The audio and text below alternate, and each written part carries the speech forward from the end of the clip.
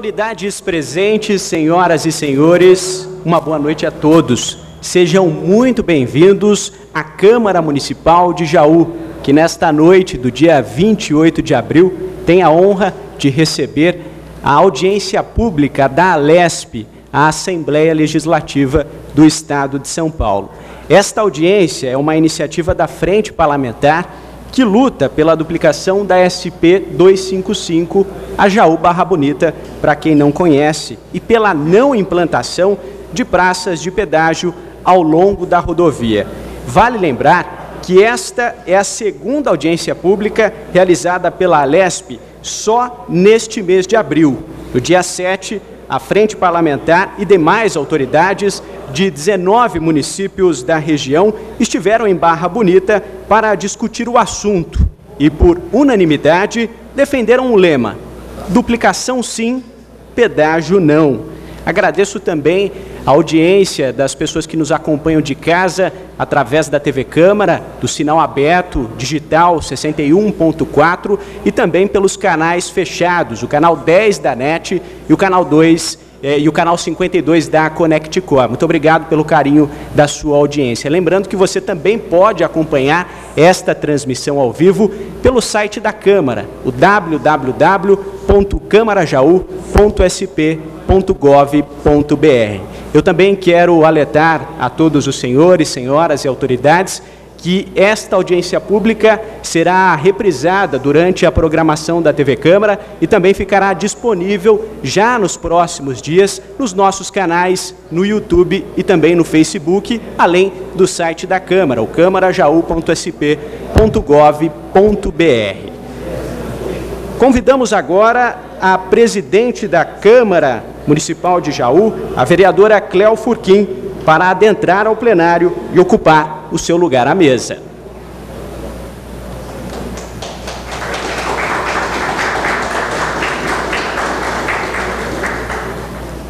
Convidamos também os senhores vereadores que compõem o Legislativo jauense para adentrarem ao plenário e assumirem os seus lugares. Vereador Carlos Alberto Lampião Bigliassi Magon,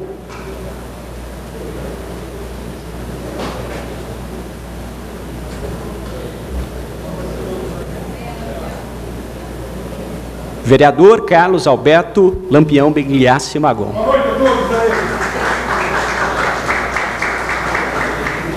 Agora chamamos o vereador Charles San Jorge Sartori.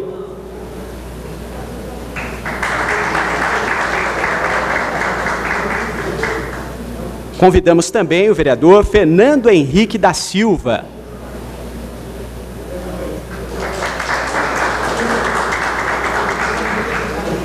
O vereador João Carlos de Toledo.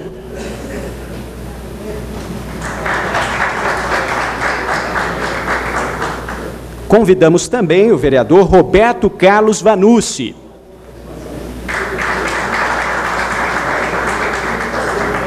O vereador Ronaldo Formigão.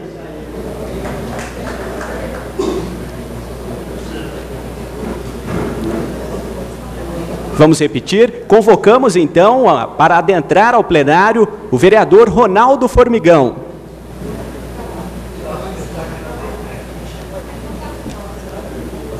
O vereador Ronaldo Formigão deve chegar daqui a alguns minutos. Convocamos então o vereador Tito Coló Neto.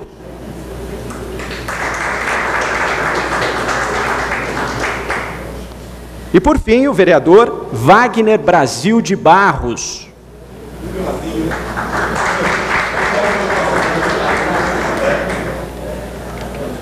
Agora convidamos para compor a mesa principal junto à presidente da Câmara as seguintes autoridades: Excelentíssimo senhor Carlos Neder, deputado estadual.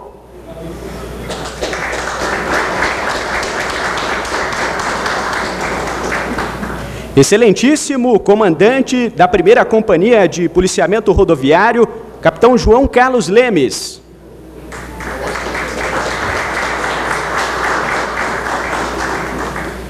Convidamos agora para compor a mesa lateral as seguintes autoridades.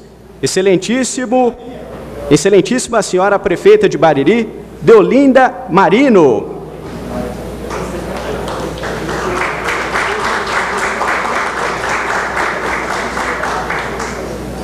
Convidamos também. A prefeita está chegando.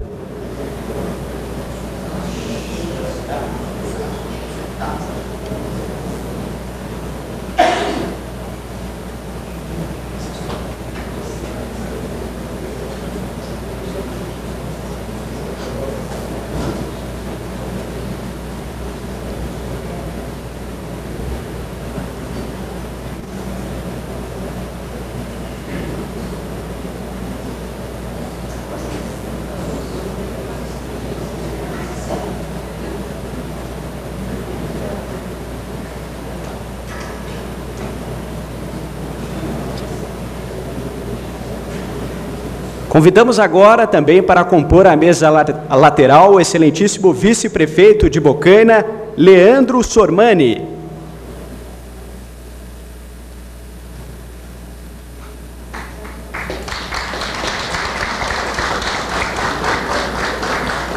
Convidamos também o excelentíssimo presidente da Câmara de Itaporanga, Elias Lagos Alves.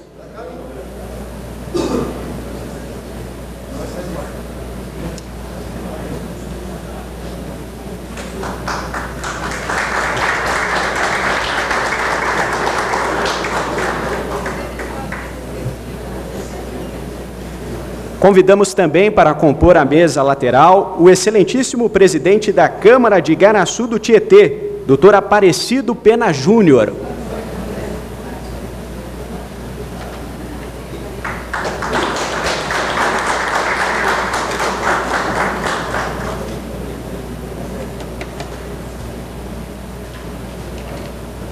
Convidamos também o excelentíssimo presidente da Câmara de Trabiju, a excelentíssima, aliás, presidente da Câmara de Trabiju, Vânia Bruna Evangelista, por favor.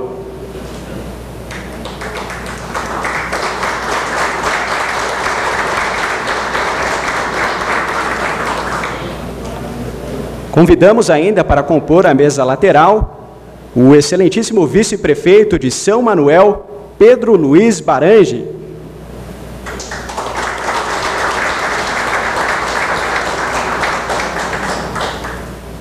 E por fim, convidamos para compor a mesa lateral o excelentíssimo senhor presidente da Câmara Municipal de Barra Bonita, Nili Zambello Júnior.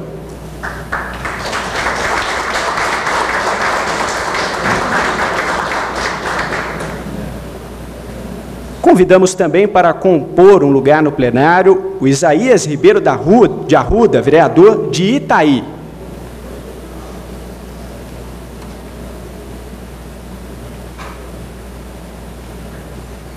A vereadora de Barra Bonita, Crista Pelican Teixeira.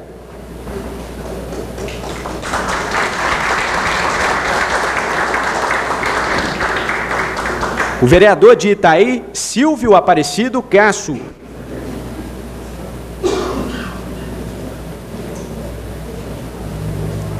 O vereador também de Itaí, Armando Camilo Martins.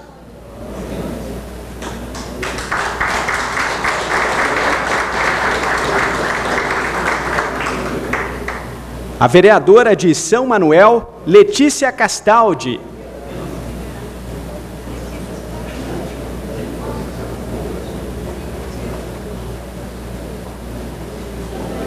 O vereador de Garaçu do Tietê, Geraldo Carveira.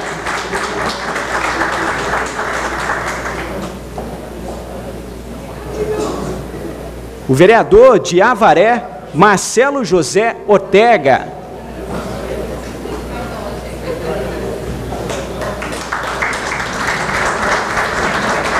Vereador de Avaré, Ernesto Albuquerque.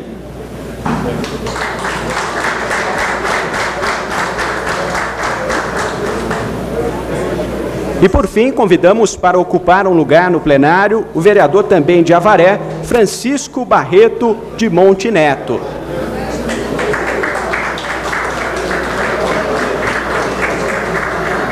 Bom, e convidamos também para compor o plenário aqui da Câmara Municipal de Jaú, o vereador Ronaldo Formigão.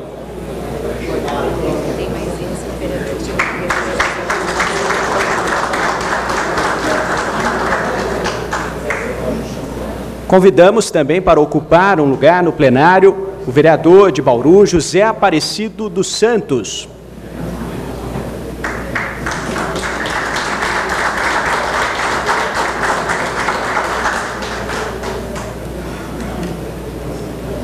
Muito obrigado pela presença de todos os senhores, autoridades. E agradecemos ainda a presença da prefeita de Bariri, a Deolinda Delmarino, que também já está aqui conosco, né? já compôs.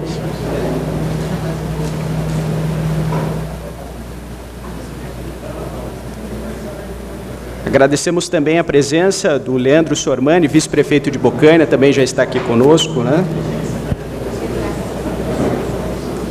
Agradecemos também a presença de Elias Lago Alves, presidente da Câmara de Itaporanga, também está conosco aqui. O doutor Aparecido Giovanni Pena Júnior, presidente da Câmara de Garaçu do Tietê. Agradecemos também a presença de Vânia Bruno Evangelista, presidente da Câmara de Trabiju, já está aqui conosco. Agradecemos a presença do Pedro Luiz Barange, vice-prefeito de São Manuel, que também está aqui conosco. Agradecemos a presença de Nili Zambello Júnior, presidente da Câmara Municipal de Barra Bonita, também já está aqui conosco no plenário. O capitão João Carlos Lemes, que está aí na mesa principal. A presidente da Câmara, a vereadora Cléo Furquim.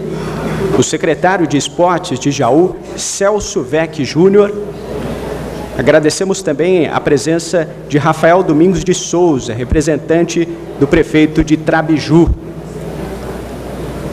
Agradecemos também a base de apoio ideal PX, em nome de Márcio Almeida, presidente da associação. Agradecemos também a presença de André Loto Galvanini, representante da Secretaria Municipal de Educação. Agradecemos a presença do deputado e coordenador da Frente Parlamentar, deputado estadual Carlos Neder. Agradecemos a presença do vereador Ronaldo Formigão, aqui de Jaú. Agradecemos a presença do vereador João Carlos de Toledo, vereador aqui de Jaú, já está conosco. Agradecemos a presença do vereador Tito Coló Neto, aqui de Jaú, também está presente conosco. O vereador Roberto Carlos Vanucci, de Jaú, que também já está no plenário. Agradecemos ainda a presença do vereador Carlos Alberto Lampião Bigliassi Magon, vereador aqui do município de Jaú, que também já está no plenário. Do vereador Fernando Henrique da Silva, aqui de Jaú, também está no plenário. Do vereador Charles San Jorge Satori, aqui de Jaú, e também já compõe o plenário. O vereador Wagner Brasil de Barros, também aqui de Jaú, está no plenário conosco. E agradecemos, por fim, a presença de Giovanni Ferri, vereador de Trabiju. Passamos agora à leitura das correspondências recebidas de convidados que não puderam comparecer a esta audiência pública.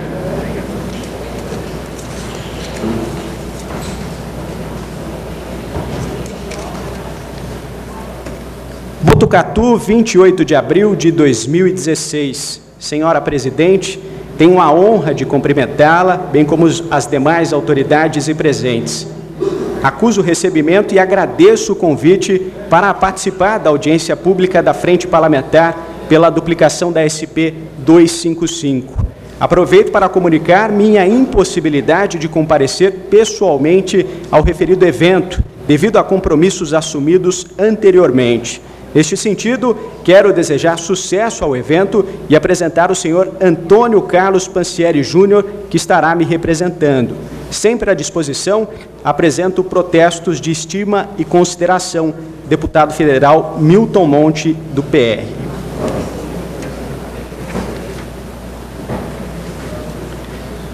Prezada senhora, pelo presente, venho apresentar meus agradecimentos pelo convite a participar da audiência da Frente Parlamentar pela duplicação da SP 255, pedágio sim ou não, com a presença do deputado estadual Carlos Neder, coordenador da Frente Parlamentar, a ser realizada no dia 28 de abril de 2016, às 19 horas na Câmara Municipal de Jaú, localizada na Praça Barão do Rio Branco, sem número no município de Jaú. Devido a compromissos assumidos anteriormente, estarei impossibilitado de comparecer à audiência, desejando desde já uma excelente audiência pública. Na oportunidade, apresento os meus protestos de estima à consideração Glauber Guilherme Bellarmino, prefeito municipal de Barra Bonita. São Manuel, 26 de abril de 2016.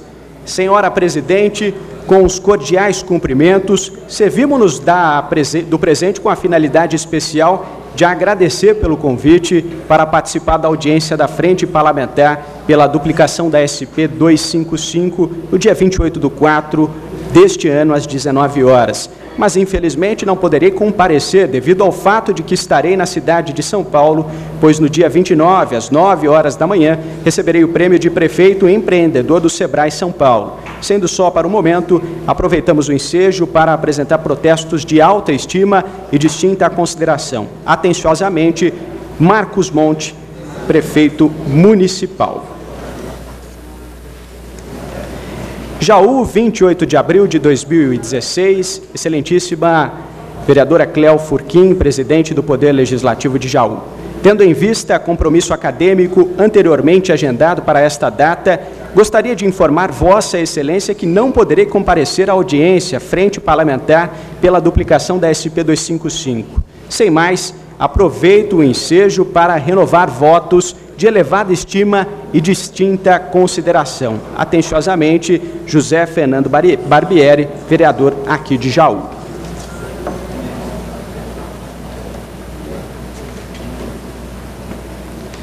Jaú, 20 de abril de 2016, senhora presidente, agradecemos calorosamente pelo convite que nos foi dirigido para participar da audiência pública da Assembleia Legislativa do Estado de São Paulo, marcada para o dia 28 de abril de 2016, na Câmara Municipal de Jaú, às 19 horas. Fiquei muito agradecida pelo convite, entretanto, devido a outros compromissos assumidos anteriormente para a mesma data, ficarei impossibilitada de comparecer. Desde já, aproveito a oportunidade para parabenizar pelo excelente trabalho desenvolvido à frente dessa Casa de Leis, desejando muito sucesso no evento. Atenciosamente, Daltira de Castro Pirage Tumolo, secretária de Educação.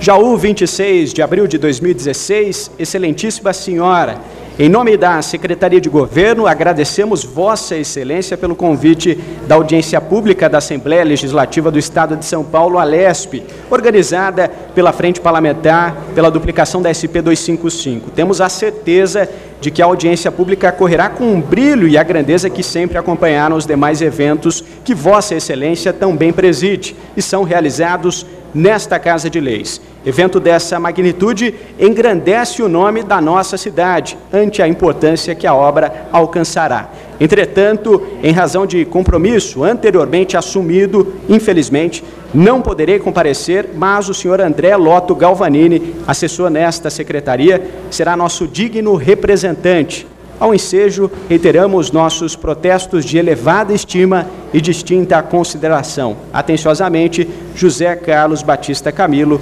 secretário de Governo. Muito bem, antes de passarmos a palavra à presidente do Legislativo Jauense, vamos agora a um breve resumo da luta pela duplicação da rodovia SP 255.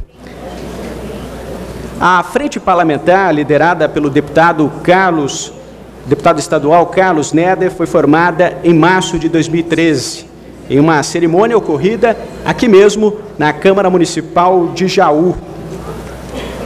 Desde então, essa frente parlamentar ganhou o apoio da sociedade civil e de autoridades dos municípios que margeiam esta importante rodovia, até que em outubro de 2013 o governo do estado anunciou a duplicação do trecho entre Barra Bonita e o município de Jaú, além de melhorias em outros pontos da estrada. O projeto chegou a ser publicado no Diário Oficial e, a princípio, estaria orçada, a obra estaria orçada em 186 milhões de reais, que seriam bancados com recursos do próprio Estado. Apesar disso, em março deste ano, autoridades da região foram surpreendidas com a notícia de que a SP 255 havia sido incluída no Plano Estadual de Concessões de Rodovias, que prevê a implantação de três praças de pedágio na rodovia SP255. Uma em Pratânia, outra entre Barra Bonita e o município de Jaú, e por fim, uma última no município de Boa Esperança do Sul.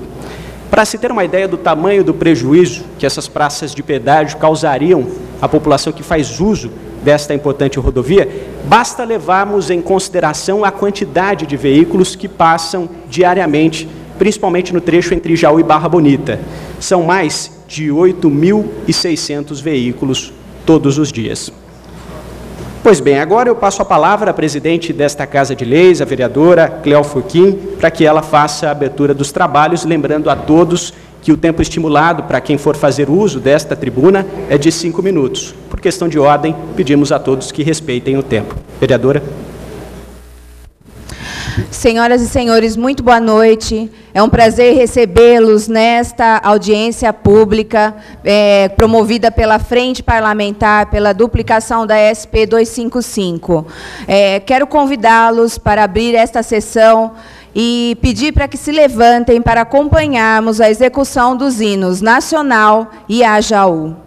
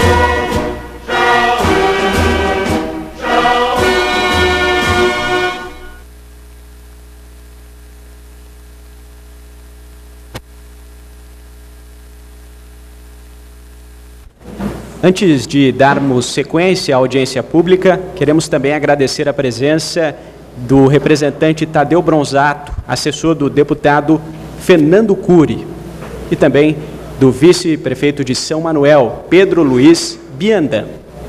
Podemos agora dar sequência aos trabalhos.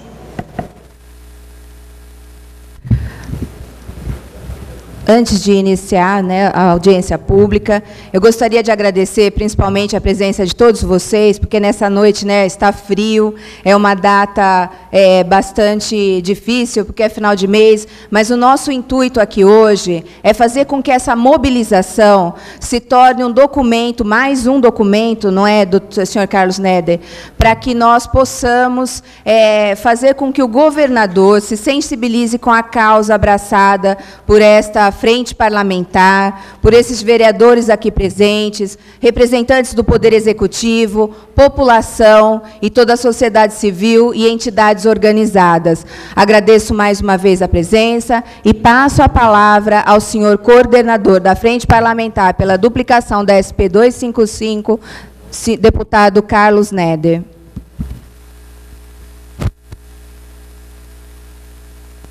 Boa noite, senhoras e senhores. Meus agradecimentos à acolhida, em nome da presidente da Câmara Municipal de Jaú, nossa amiga Cléo Furquim, em nome de quem cumprimento todas as autoridades presentes, um grande número de vereadores, vereadoras, prefeitos, vice-prefeitos e a sociedade civil aqui representada.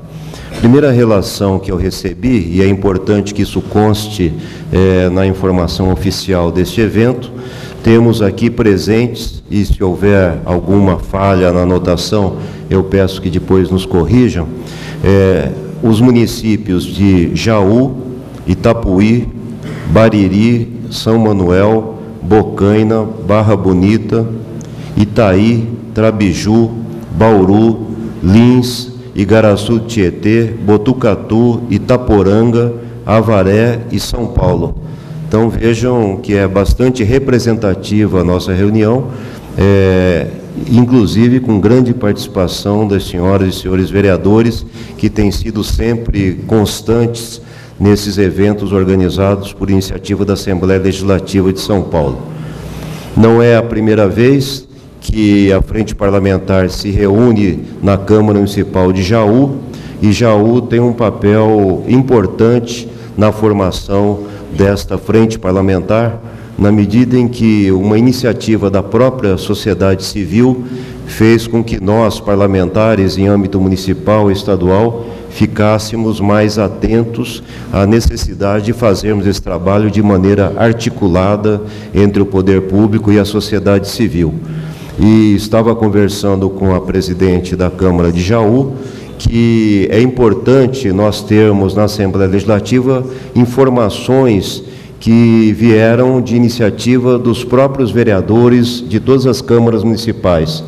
Além das iniciativas que são próprias da frente parlamentar, com seu caráter suprapartidário, nós precisamos ter nos anais da Assembleia informações de ações provenientes de iniciativa ou das câmaras municipais como um todo, ou de alguns dos seus vereadores. Nesse sentido, eu pedi à presidente que fornecesse depois à comissão e à frente parlamentar é, as iniciativas já adotadas em âmbito desta Câmara Municipal e eu estendo esse pedido a todas as demais câmaras e vereadores aqui presentes, além de representantes do Poder Executivo, sejam prefeitos ou vice-prefeitos.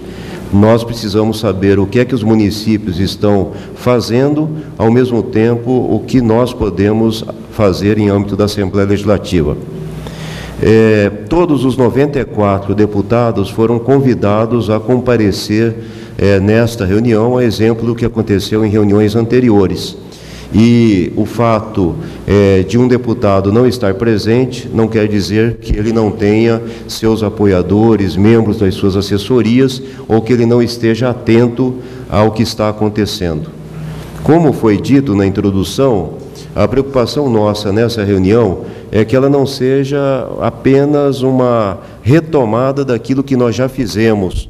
É, é preciso que, no momento das inscrições, nós dediquemos um tempo maior para pensar as providências que devem ser tomadas, considerando as duas últimas reuniões, por exemplo, as que foram realizadas na cidade de Itaí e posteriormente em Barra Bonita, ambas com grande participação. Problema nós conhecemos, o diagnóstico do que acontece na rodovia SP255 também.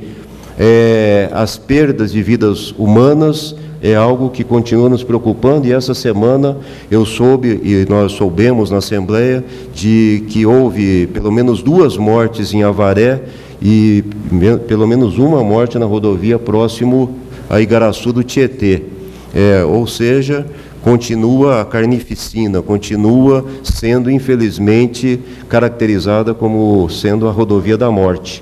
E é preciso que providências sejam tomadas o mais urgentemente possível.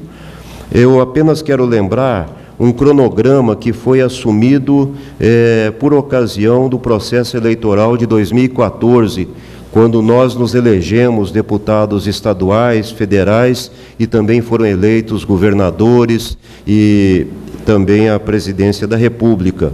Naquele momento, em São Paulo, foi assumido o seguinte compromisso, que foi o cronograma anunciado. 30 de agosto de 2013, publicação do edital do projeto. 1 de dezembro de 2013, início do projeto. 30 de setembro de 2014, término do projeto. 30 de outubro de 2014, licitação das obras. 1 de fevereiro de 2015, início das obras, sob responsabilidade direta do governo do Estado. É claro que nós sabemos que esse cronograma não se confirmou e há um fato novo que de lá para cá aventa-se a possibilidade da melhoria ou da duplicação ser feita mediante é, concessão com a escolha de uma empresa ou mais de uma empresa que com a instalação de praças de pedágio, venha assumir esta responsabilidade. É, nós fizemos uma pergunta para esta reunião: é, duplicação com pedágio, sim ou não?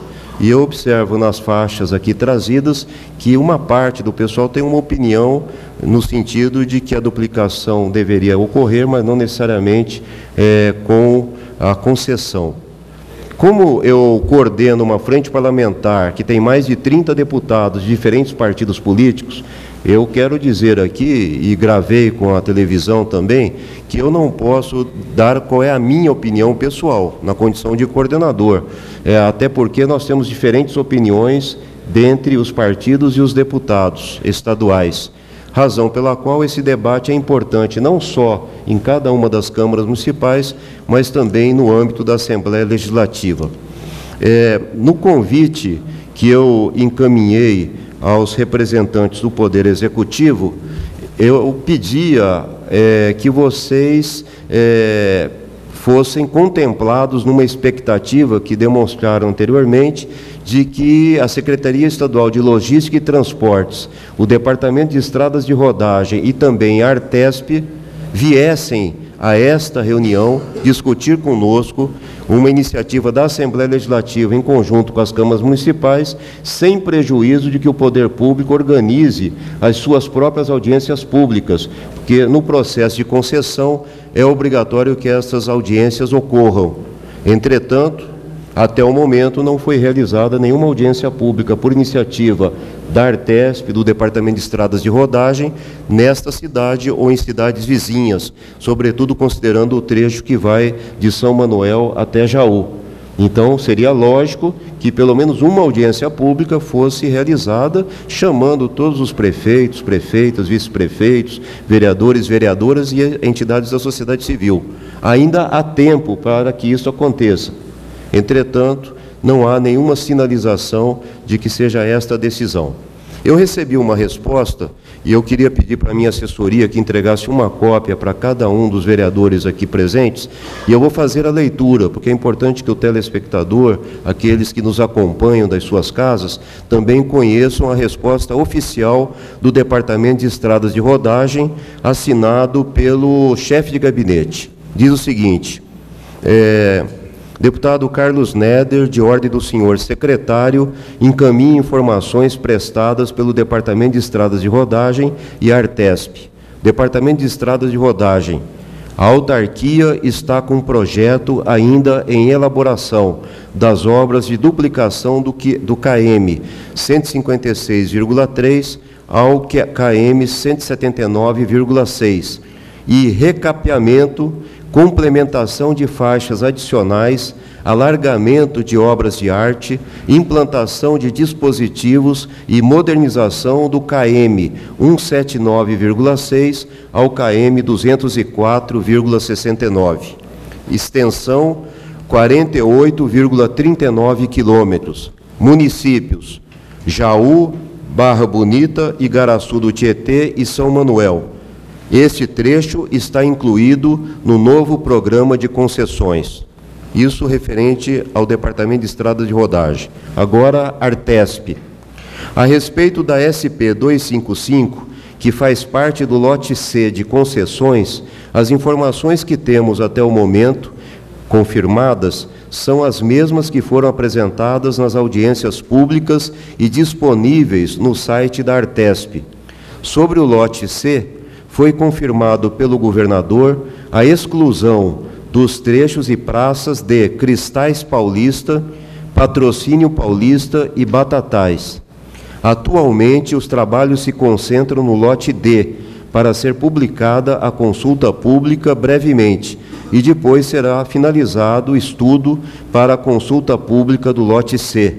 Fico à disposição para maiores informações. Lembrando que, e está anexo aqui para que todos se lembrem, é, que no ofício que encaminhamos ao secretário, bem como ao superintendente do DR e ao, e ao diretor eh, da Artesp, nós pedimos a presença desses três órgãos públicos e que seria fundamental que eles nos esclarecessem sobre a polêmica que está instalada aqui na região, na medida em que prefeitos e vereadores ficaram sabendo da concessão diante de um fato já consumado, sem que tenham sido previamente consultados. Não me estendendo, quero dizer também que eu dei entrada é, com um requerimento na Comissão de Transportes, pedindo que a Comissão de Transportes é, organize uma audiência pública no ambiente da Assembleia Legislativa com a participação obrigatória do secretário estadual de Logística e Transportes, do Departamento de Estradas de Rodagem e também da Artesp. E a título de fundamentação deste requerimento, foram anexadas as moções aprovadas em Avaré, em Barra Bonita e em São Manuel. Eram as três moções que nós tínhamos em mãos aprovadas nesses três parlamentos e elas foram anexadas e todos os deputados que compõem a Comissão de Transportes receberam o pedido desta audiência pública e este requerimento será votado agora nesta terça-feira às 14 horas. E eu quero dizer para vocês, é importante porque nós temos aqui representantes de vários partidos políticos, que o presidente da comissão é o deputado Orlando Morando, que é do PSDB. O PSDB tem mais outros dois representantes entre os seus titulares. O deputado Roberto Engler e o deputado Roberto Massafera. Então, quem é aqui do PSDB poderia entrar em contato com esses três deputados, que incluem inclusive o presidente, para que, de fato, seja colocado em votação e seja realizada esta audiência pública.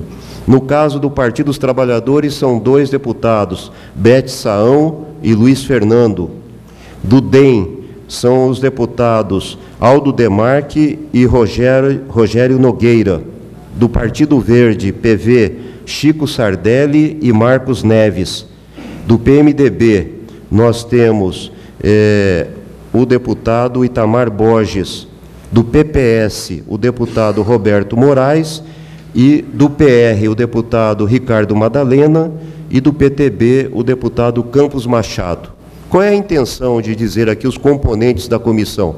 Claro que cada deputado tem a liberdade de ser a favor, contra, achar que não é conveniente realizar a audiência, ou ao contrário, querer a audiência o quanto antes porque vem uma pressão não só de vocês, mas tem várias regiões do Estado que vão ter que enfrentar o problema da concessão de rodovias e também pressionam para que o presidente da Artesp vá até a Assembleia prestar contas. Mas a intenção é que vocês dialoguem com os deputados de todos os partidos para saber se nós temos alguma chance de fazer essa audiência pública na Comissão de Transportes, que é a comissão responsável por esse tema sem prejuízo de iniciativas que possam ser tomadas aqui mesmo na região.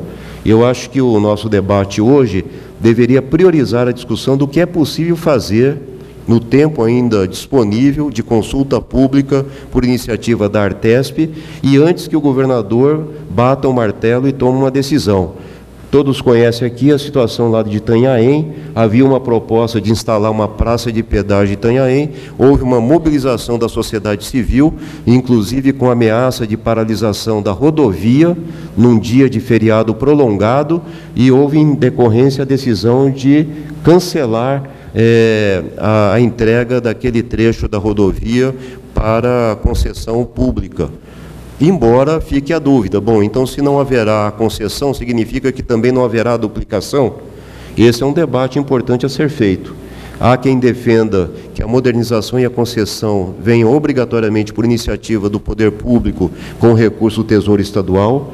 Há quem defenda que tudo bem que se instalem as praças de pedágio, desde que a gente tenha a garantia de que a modernização virá, e há quem diga que primeiro deve vir a modernização para depois serem instaladas as praças de pedágio. Então, há toda essa gama de possibilidades. E eu pediria, então, que nós nas falas, tanto de eh, detentores de mandato eletivo como de representantes da sociedade civil, nos ativéssemos mais ao encaminhamento do que propriamente ao diagnóstico de qual é a situação que temos na rodovia SP255. Então, mais uma vez, eu quero aqui agradecer a vinda de todos e todas, e eu peço licença à nossa presidente para ter um método de atuação agora, a partir de agora, e eu sugeriria da seguinte forma: nós ouviríamos inicialmente é, representantes é, prefeitos, vice-prefeitos, depois é, um vereador de cada município e em seguida abrindo a possibilidade de intervenções intercaladas de vereadores, vereadoras e de representantes da sociedade civil mediante inscrições. Não sei se poderia ser assim. Acho que como nós estamos numa noite com vários representantes, sim, acho que seria interessante, né, que nós elegêssemos alguns dessa forma, né, deputado, é, representando quem se interessar a falar, faça a inscrição e que possa, né, fazer essa participação é, democrática de todos os representantes aqui presentes. Só uma questão de ordem, senhor presidente. Sim, vereador, pois não.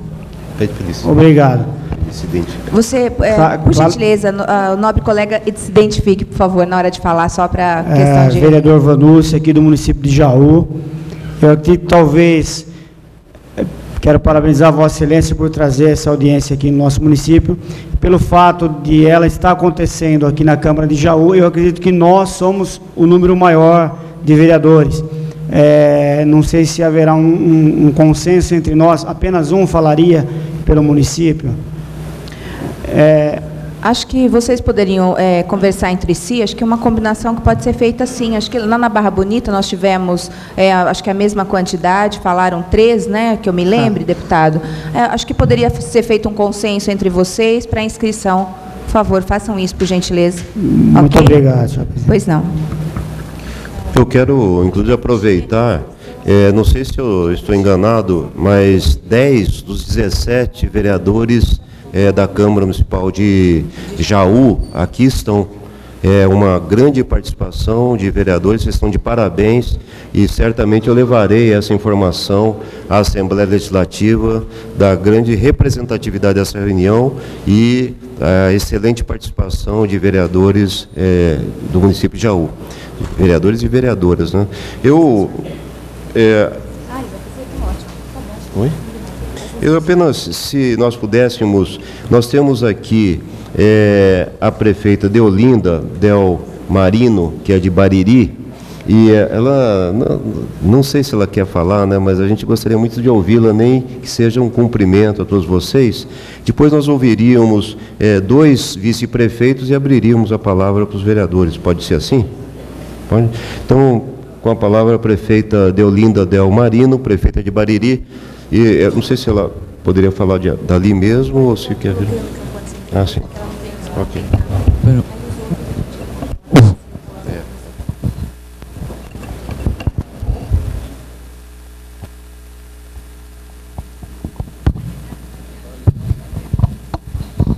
Boa noite. Eu agradeço o convite, saliento da importância de estarmos aqui de uma forma suprapartidária, defendendo a vida dos nossos cidadãos. Porque eu acho que, em essência, o nosso trabalho nessa frente parlamentar é proteger as vidas e, o desenvolvimento da nossa região. Então, é um momento importante. A, a democracia só se faz assim, participando. Então, eu acredito, sim, depois de todo o debate da Barra, que é um desejo do nosso coração essa duplicação. Mas também é um desejo, creio que da maioria, de que antes tenhamos a duplicação e depois pedágio. Certo? Sou da cidade de Bariri, mas acredito em trabalhos integrados de região. Então, eu acho que já tomei a palavra por muito tempo, agradeço, deixo o meu boa noite e passo a palavra. Muito obrigado, prefeita, sempre presente nos nossos eventos. E um dia ainda faremos a reunião na cidade de Bariri, que já houve vários convites.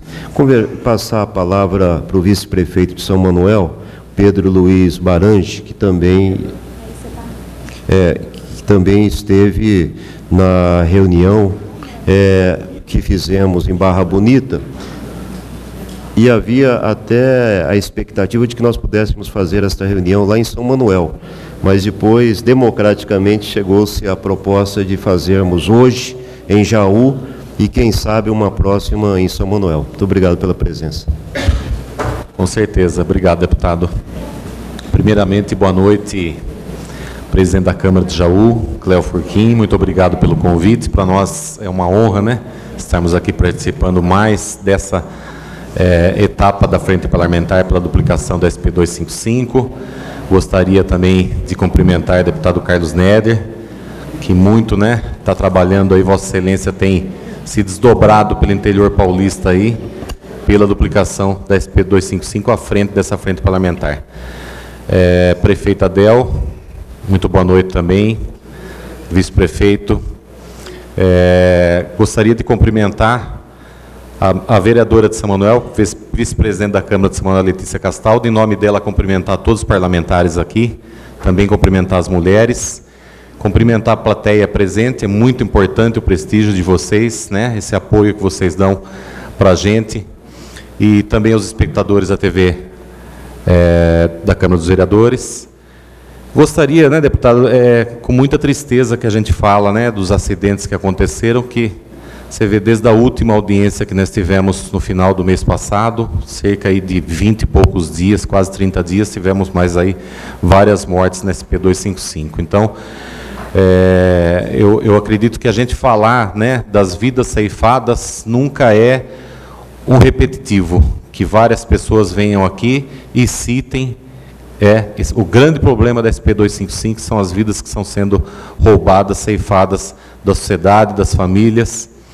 E muito importante o senhor citar né, o, o, os deputados que estão fazendo é, parte da frente parlamentar. Eu estou no PMDB e vou cobrar do, do, do, do deputado Itamar Borges né, as ações futuras que a gente possa fazer. É, me coloco à disposição, como foi colocado na última audiência de Barra Bonita, me coloco à disposição novamente para estar fazendo a próxima é, edição dessa frente parlamentar em São Manuel, né? mantenho. Eu não vou me estender muito, porque tenho certeza que vários colegas, né? É muito gratificante para nós ver, vermos aqui vários vereadores de várias cidades representadas aqui, mostrando que cada um, né, o compromisso de cada um com a sua, com o seu povo, com a sua população. Desculpe, gostaria de cumprimentar também o capitão Polícia Militar Rodoviária também aqui é, representando. Muito obrigado a todos. Boa noite. Muito obrigado ao vice-prefeito Pedro Luiz Biadan. São Manuel e que reitera o convite de que a próxima reunião seja em São Manuel. A gente fica muito contente com essa possibilidade e sem prejuízo de outras sugestões que vocês apresentem sobre como devemos agir a partir de agora. Passar a palavra ao vice-prefeito de Bocaina, Leandro Aroni Seormani. Esse é a sociedade civil.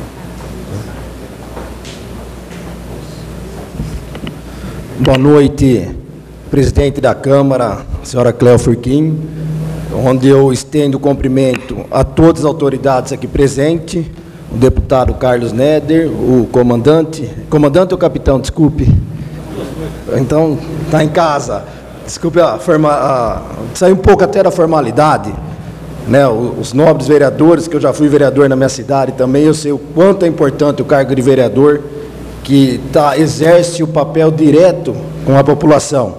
Esse é o soldado de frente, esse é a pessoa que briga no dia a dia e encontra a população na rua, que está lá e a gente sabe o quanto é difícil.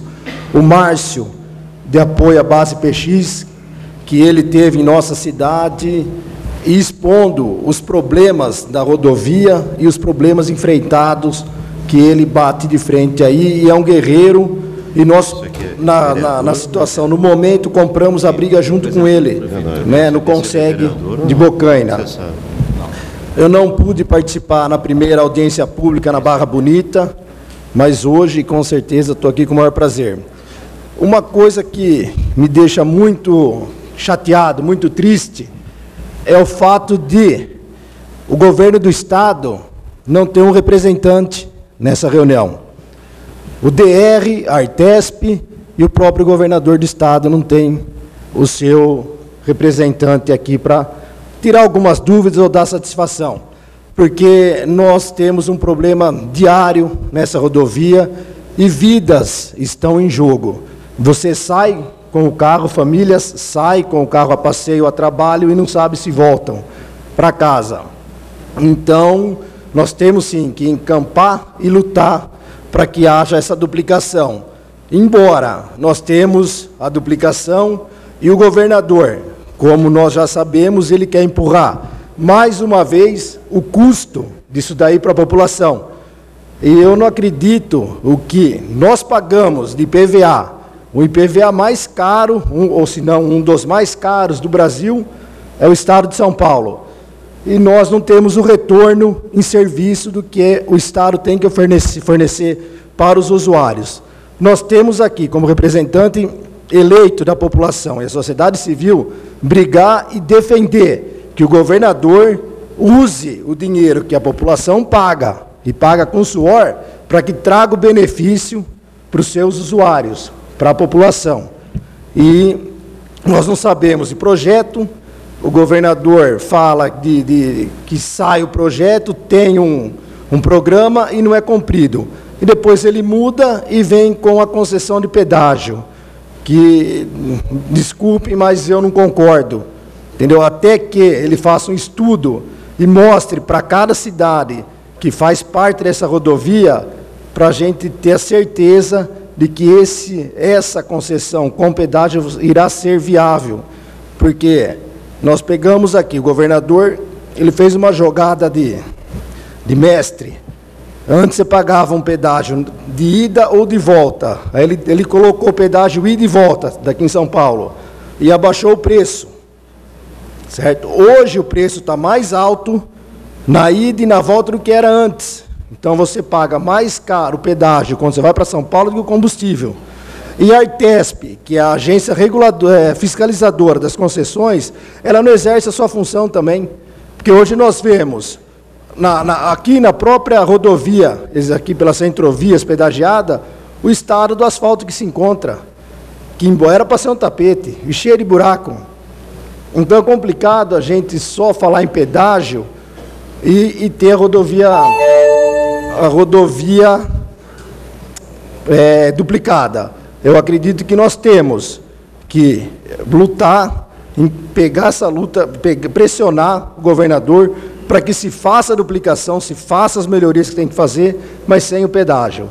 Quero me colocar à disposição aqui da, da, da frente parlamentar e que precisar cobrar os deputados da, da Assembleia Legislativa, nós estaremos junto, com, não medindo esforços, para que essa benfeitoria e essa situação de perdas de vidas, que é o mais importante, cesse em nossa região, ou pelo menos diminua drasticamente.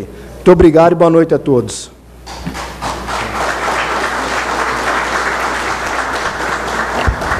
Muito obrigado ao vice-prefeito de Bocaina pela participação e pelas sugestões e alertas.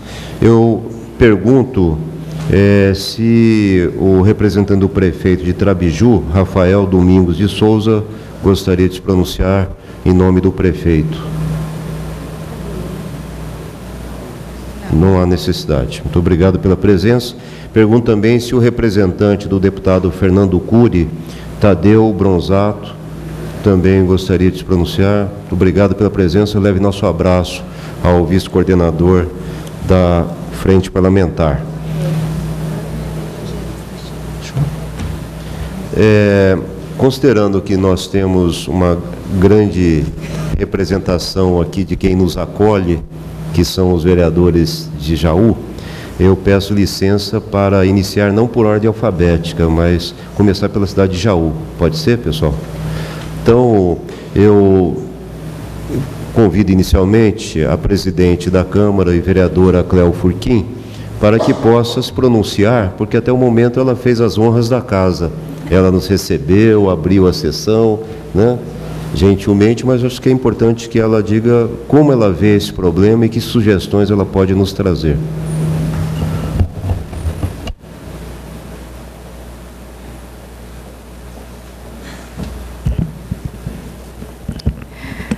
Senhor, eh, senhor coordenador desta frente parlamentar, deputado Carlos Neder, senhor comandante da primeira companhia de policiamento, João Carlos Lemes, prefeita de Olinda, vice-prefeitos, em nome de quem cumprimento os presentes, é, senhor secretário Celso Vec, muito obrigada mais uma vez pela sua constante sempre presença aqui conosco, o Márcio Almeida, pessoa muito importante de toda essa, essa, essa movimentação que vem sendo realizada lá da base PX e seu sempre o, a companhia que está sempre com ele, desculpe.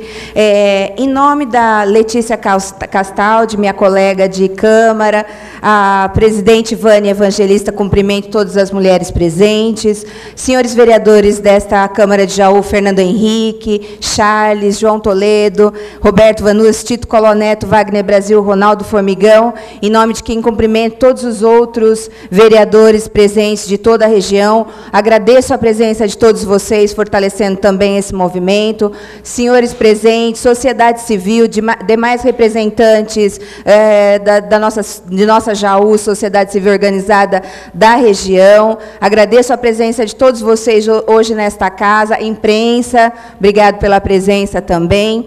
Ah, exatamente, senhor Carlos Neder. É, o quanto vale uma vida, não é mesmo? Vamos de novo bater nessa tecla, porque eu digo o seguinte: quando nós começamos a fazer parte dessas audiências públicas, não só das audiências públicas, mas também de todos os movimentos que já se iniciaram lá atrás, desde quando aqui em Jaú se lançou o movimento Duplica Já, é, representado pelo nosso Rotary Jaú Terra Roxa, é, quando começou-se a falar dessa duplicação da estrada, todos nós pensávamos exatamente nesse quesito quesito, a vida das pessoas que frequentam todos os dias essa estrada.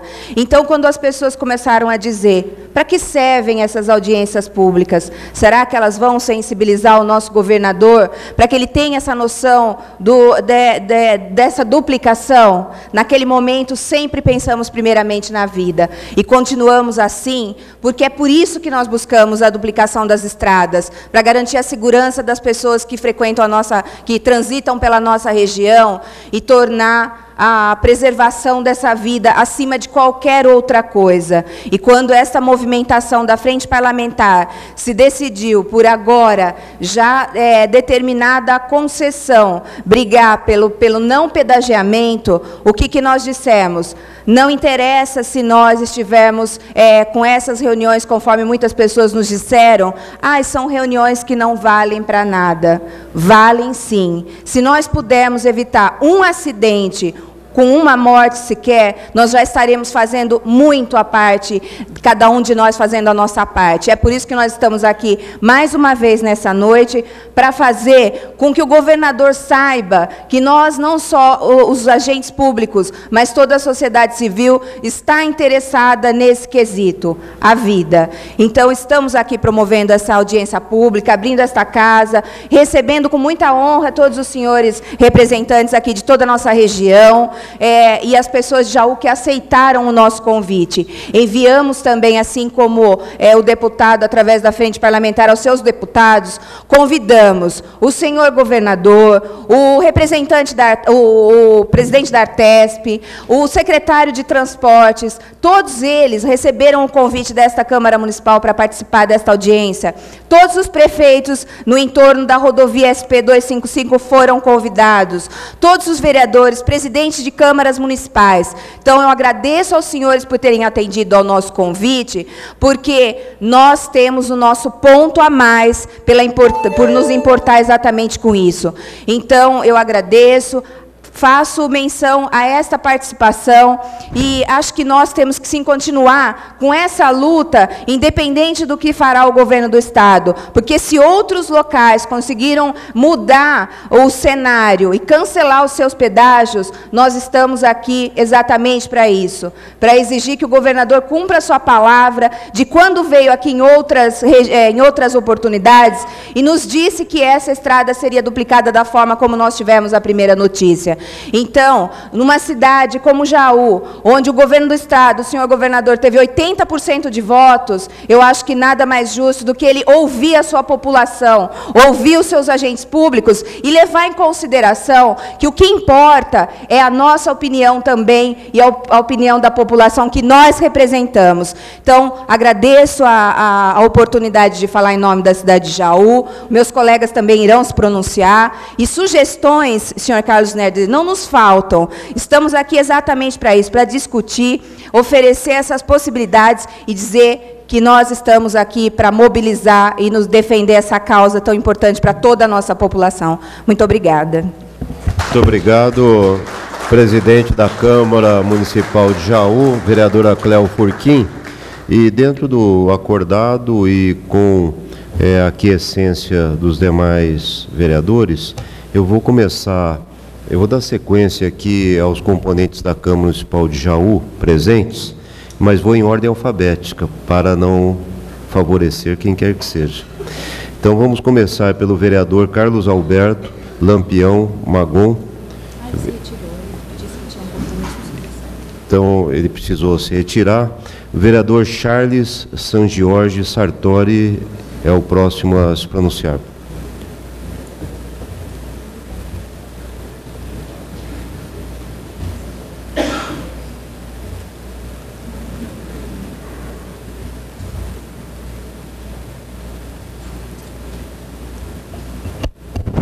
Obrigado, senhor deputado Carlos Neder, pelo convite de vir a essa tribuna.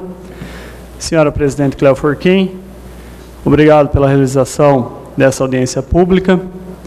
Cumprimento as autoridades presentes, senhor Carlos Neder, deputado estadual, senhora Presidente da Câmara Cléo Forquim, em nome de todos os presidentes e vice-presidentes de câmaras municipais da nossa região, ao comandante João Carlos, policial militar rodoviário, a quem cumprimento as autoridades constituídas da Polícia Militar do Estado de São Paulo, ao Márcio PX e ao Sargento Rocha, pela organização e o trabalho sempre de apoio a essa rodovia pelo PX, a prefeita de Olinda, de Bariri, nossa cidade circunvizinha, e estendo também a todos os prefeitos e vice-prefeitos, ao vereador Nírio Zambelo, da Câmara de Barra Bonita, ao qual cumprimento todos os colegas vereadores desse município e demais, ao rotariano Veidson Marcelo, pelo movimento Duplica Já, da sociedade civil, estendendo a todos os membros deste movimento, ao secretário de Esporte, Antônio Carlos Vec Júnior, ao qual cumprimento também todos os secretários aqui presentes, ao doutor Giovanni Araújo, ao qual cumprimento a todo o corpo médico e também aos clubes de serviço da nossa cidade e região, ao Teixeira da Rádio Jauense, ao qual cumprimento também e estendo um abraço a toda a imprensa que cobre essa audiência pública. Sou bem objetivo aqui dentro do meu tempo, nobres vereadores, quero demonstrar aqui na minha cidade o que pude expor também na cidade de Barra Bonita na audiência anterior. Eu tenho em mãos um requerimento apresentado por mim, pelo vereador Fábio Dornelles e também pelo Gilberto Vicente, pedindo ao prefeito municipal da cidade de Jaú que nos esclarecesse, que nos posicionasse quanto à instalação das praças de pedágio. E a resposta, vou ler aos senhores. Cumpre-nos informar a Vossa Excelência e demais autoridades, membros do Poder Legislativo, que oficialmente esta administração municipal, até presente data, não foi cientificada sobre a obra. Temos conhecimento somente por meio de imprensa. Gente, não é brincadeira, deputado Carlos Neder. O governo do Estado de São Paulo não pode nos tratar dessa maneira. Realmente é necessário ter um representante do Departamento de Estradas e Rodagem, representante da Artesp e representante da Secretaria de Transporte do Estado de São Paulo. Peço, vereadora Cláudia Forquim, que façamos, além da moção que a senhora propôs, um requerimento exigindo audiência pública na nossa cidade. Houve promessa do secretário Clodoaldo de Transporte da duplicação do trecho Jaú Barra Bonita com recursos próprios do governo estadual. Então, gente, eu já fiz e solicitei ao deputado Carlos Neder que anexasse essa documentação que vos li e acredito que essa juntada já foi executada. Isso que eu gostaria de pedir aos senhores. Temos que cobrar o nosso posicionamento político, porque quando a eleição vem aqui e consegue 80% de votos. Nós não podemos nos dar o luxo de arcar com pedágio agora, já o Barra Bonita. Olha a quantidade de estudantes, de trabalhadores que temos nessa rodovia 255. Sou professor em uma ETEC, a qual muitos alunos, mesmo tendo ETEC na Barra Bonita, estudam na FATEC Jaú, na Fundação Jaú e na ETEC de Jaú. Estamos já pedagiados pelo trecho Jaú-Bauru. Estaremos agora também, se depender de mim, não mas estaremos agora também pedagiados já o Barra Bonita.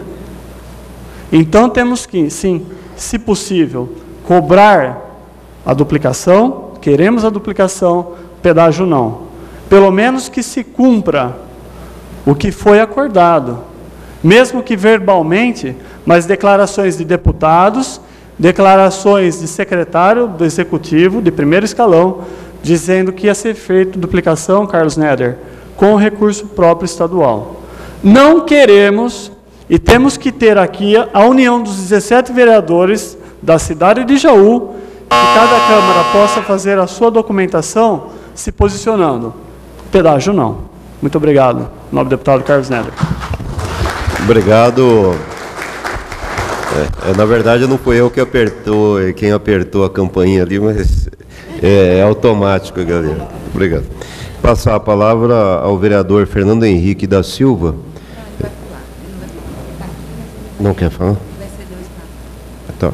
É, pa passar a palavra ao vereador João Carlos de Toledo. Não quer falar? Tá? Vereador Roberto Carlos Vanucci.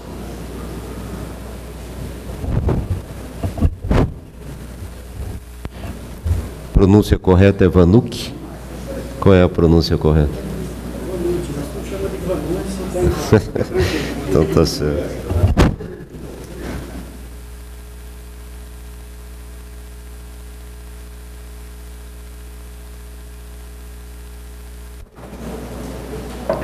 Senhora Presidente Cléo Furquim, quero mais uma vez parabenizá-la por trazer essa audiência pública em nosso município. Isso muito nos honra e nos dá a alegria de recebê-los hoje nessa casa. Muito obrigado pela presença de todos vocês, indistintamente, que aqui vieram contribuir com esse debate. Quero aqui também saudar o coordenador, deputado Carlos Neder. É uma honra muito grande tê-lo novamente em nossa casa debatendo sobre esse assunto tão relevante aqui em nossa casa. Também agradecer a presença do comandante João Carlos Lemes. Muito obrigado pela presença. Em nome da prefeita de Olinda, quero aqui estender os meus cumprimentos aos demais prefeitos, vice-prefeitos e a todos os vereadores aqui presentes e mais uma vez a vocês, público aqui presente, e a você, telespectador, que nos prestigia com a sua audiência. Eu até fico um pouco preocupado e quero fazer um discurso um tanto comedido, que entendo que o parlamento é o espaço mais nobre da política, onde nós podemos contribuir com as nossas ideias nos debates e tirarmos daqui soluções para esse problema aí que nos assola no momento. Que não façamos dessa tribuna um palanque eleitoral, igual infelizmente foi feito outra vez, senhora presidente, na primeira reunião que nós tivemos aqui, onde eu vi nessa tribuna prefeitos, vereadores, bradando que tinham conseguido a duplicação da SP 255. Passaram-se esses anos e nada aconteceu. Então, que sejamos comedidos no nosso discurso. Eu quero aqui e espero contribuir nessa noite com algumas informações relevantes para esse debate. E entendo que só a questão da duplicação, que é entre nós unânime e um discurso uníssono, e há divergências com relação à implantação das praças de pedágio, que eu também respeito as opiniões divergentes. Eu sou contra a implantação da praça de pedágio, faço questão publicamente a minha opinião e quero aqui externar algumas informações. Eu diria que só pelo fato, claro, de a duplicação estar ajudando a salvar vidas, já falaria por si só esse argumento que é muito forte. Mas eu tenho alguns dados, é, desenvolvo um trabalho em algumas entidades, hospitais aqui em nosso município, e o que preocupa as pessoas é que a implantação de pedágio, principalmente na Barra e Igaraçu do Tietê, nós temos Hospital Teresa Perlate, Santa Casa de Misericórdia de Jaú e o Hospital Amaral Carvalho, que é referência oncológica nacional. passam mais de 10 mil pacientes que vêm fazer o tratamento no Hospital Amaral Carvalho. Vossa Excelência, presidente Cleo, usou a palavra sensibilizar o governo. Então, quero aqui, com essas informações, tentar sensibilizar o governo.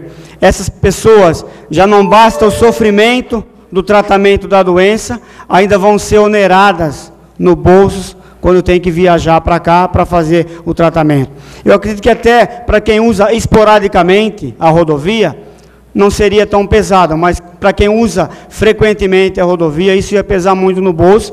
Pego aqui o gancho do vereador Charles Sartori, dos estudantes, nós temos a FATEC, nós temos a Industrial, nós temos a escola IBEM, nós temos a Fundação, e muitos estudantes que vêm fazer enfermagem nessas escolas que eu citei, e depois futuramente, e alguns já trabalham também nesses hospitais que eu citei aqui.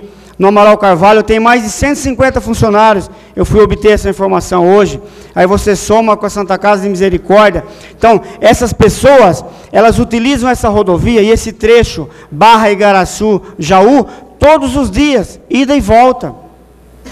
Para para somar isso, todos os dias, no mês, o quanto isso vai causar, isso vai pesar significativamente no salário delas. Então, eu gostaria que, como proposta de encaminhamento, anexasse essas informações para que eu pudesse também contribuir representando essas pessoas com o debate nessa casa. Muito obrigado.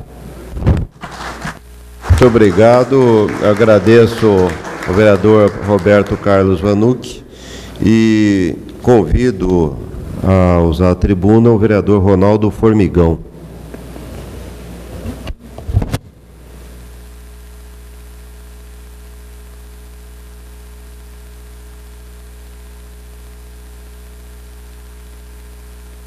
Senhora Presidente, excelentíssimo deputado Carlos Neder, senhor capitão, comandante da Polícia Rodoviária, componentes da mesa, em nome de quem eu cumprimento todas as demais autoridades que já foram elencadas por aqui e, e o público presente também. Eu acho que o objetivo é dizer a nossa opinião sobre a, eh, a, a duplicação. Participei de vários encontros já, até mesmo antes da criação da frente parlamentar, né, de alguns encontros que tiveram. E Hoje nós vemos que já avançou bem né, a questão da duplicação, com certeza teremos a duplicação. Né, agora a questão é do pedágio. Eu vou ser bem, bem sincero, nossa população ela não quer o pedágio, senhor deputado. Ela não quer o pedágio. Né, ouvindo a nossa população, ela não deseja o pedágio, ela deseja a, a, que seja feita a duplicação, né, através dos recursos, como muito bem foi citado aqui pelo vice-prefeito de Bocaina, através dos recursos que nós já pagamos do IPVA. Então, essa é a minha, a minha sugestão. Né? Aqui falando em nome de nossa população, né? que já está cansada de pagar tantos impostos, né?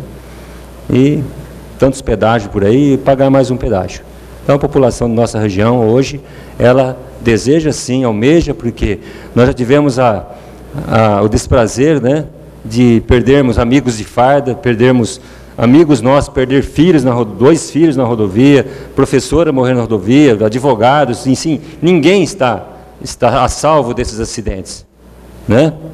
Nós tivemos esse prazer, não queremos mais isso. E nós queremos que seja realizada essa obra o mais breve possível, mas com os recursos que nós já pagamos dos nossos impostos e que não seja pedagiada. Obrigado. Muito obrigado, vereador Roberto Formigão. E convido para falar da tribuna o vereador Tito Coló Neto.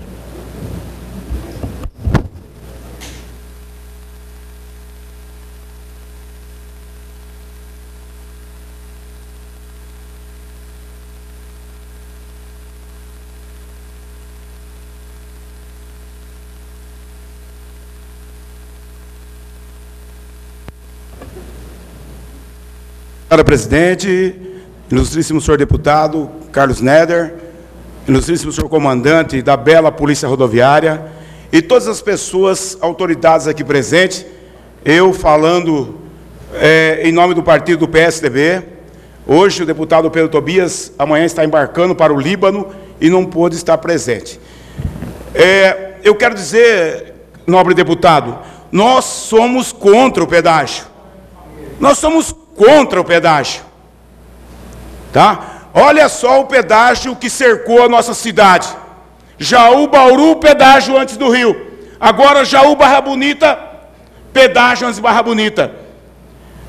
Falo aqui do que falou o nobre deputado, tem a grande verdade do que ele comentou. Se não fizermos uma audiência pública em São Paulo e cobrarmos os nossos deputados, não vai valer nada do que está fazendo aqui. Escrevem o que eu estou dizendo.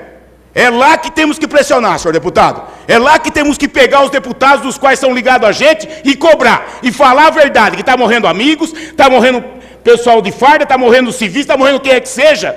Tá? Mas temos que falar isso aí diretamente para as pessoas envolvidas e ligado ao Palácio dos Bandeirantes. Senão não sai nada. Não adianta que não sai. Eu tenho um, um, costume de falar, nobre deputado, se não tirarmos a bunda da cadeira, nada se resolve. E o pedágio agora, se for uma privatizada, ele vai existir. Agora, você acha que tem cabimento fazer um pedágio antes que tenha a duplicação? Isso é brincadeira. Isso é piada. Não tem cabimento nós, políticos, aceitarmos um negócio desse. Independente do partido que nós estamos, PT, PMDB, PV, PSDB, PSB, não tem essa. Temos aqui a força do nobre deputado que está encorajando a frente de um grupo como esse. Já é uma grande vantagem. Nobre deputado falou das pessoas ligadas do PSDB, do PV, do PTB. Agora, seus vereadores, amanhã telefone vamos cobrar. Roberto Massafera, Morandi, que é do meu partido, vai ser cobrado. É o caminho. Não tem outro caminho, nobre deputado. Não tem outro caminho. Se nós se curvarmos a tudo que vem igual abaixo, o Brasil vai ficar assim. Vai ficar desse jeito. Políticos deitando e rolando fazendo do jeito deles. Por quê? Além de tudo, salário gordo não estão preocupados com quem vai usar o pedágio. Porque carro oficial nem pedágio paga.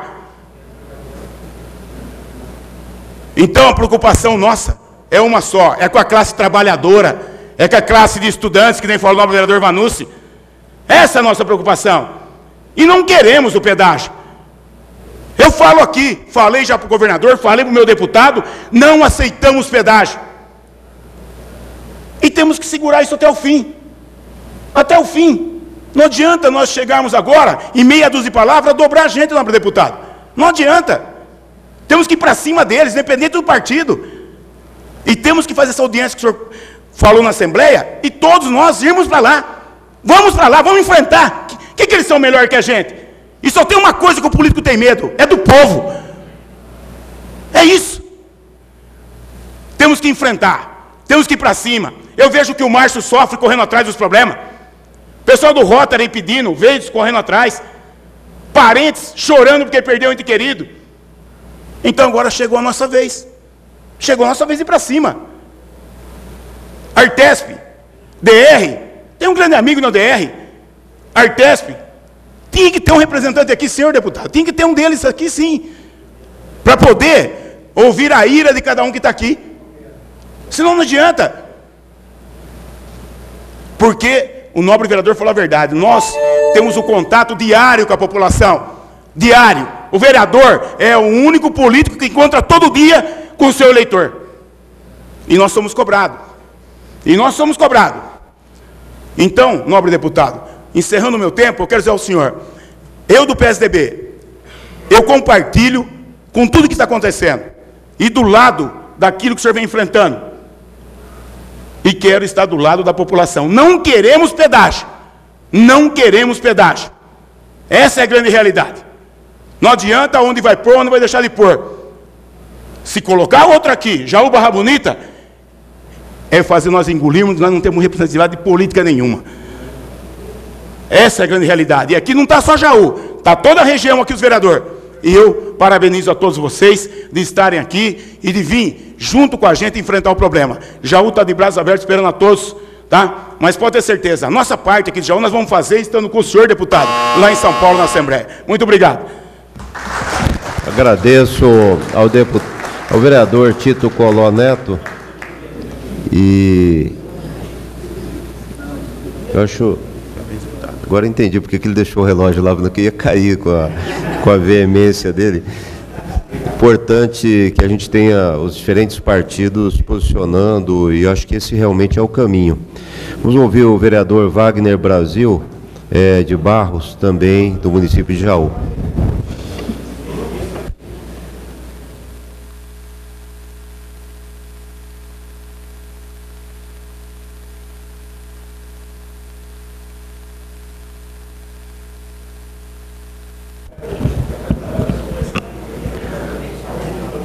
Senhora presidente, Cleo Furquim, é, deputado Carlos Neto, quero parabenizá-lo pelo trabalho à frente é, da duplicação 255.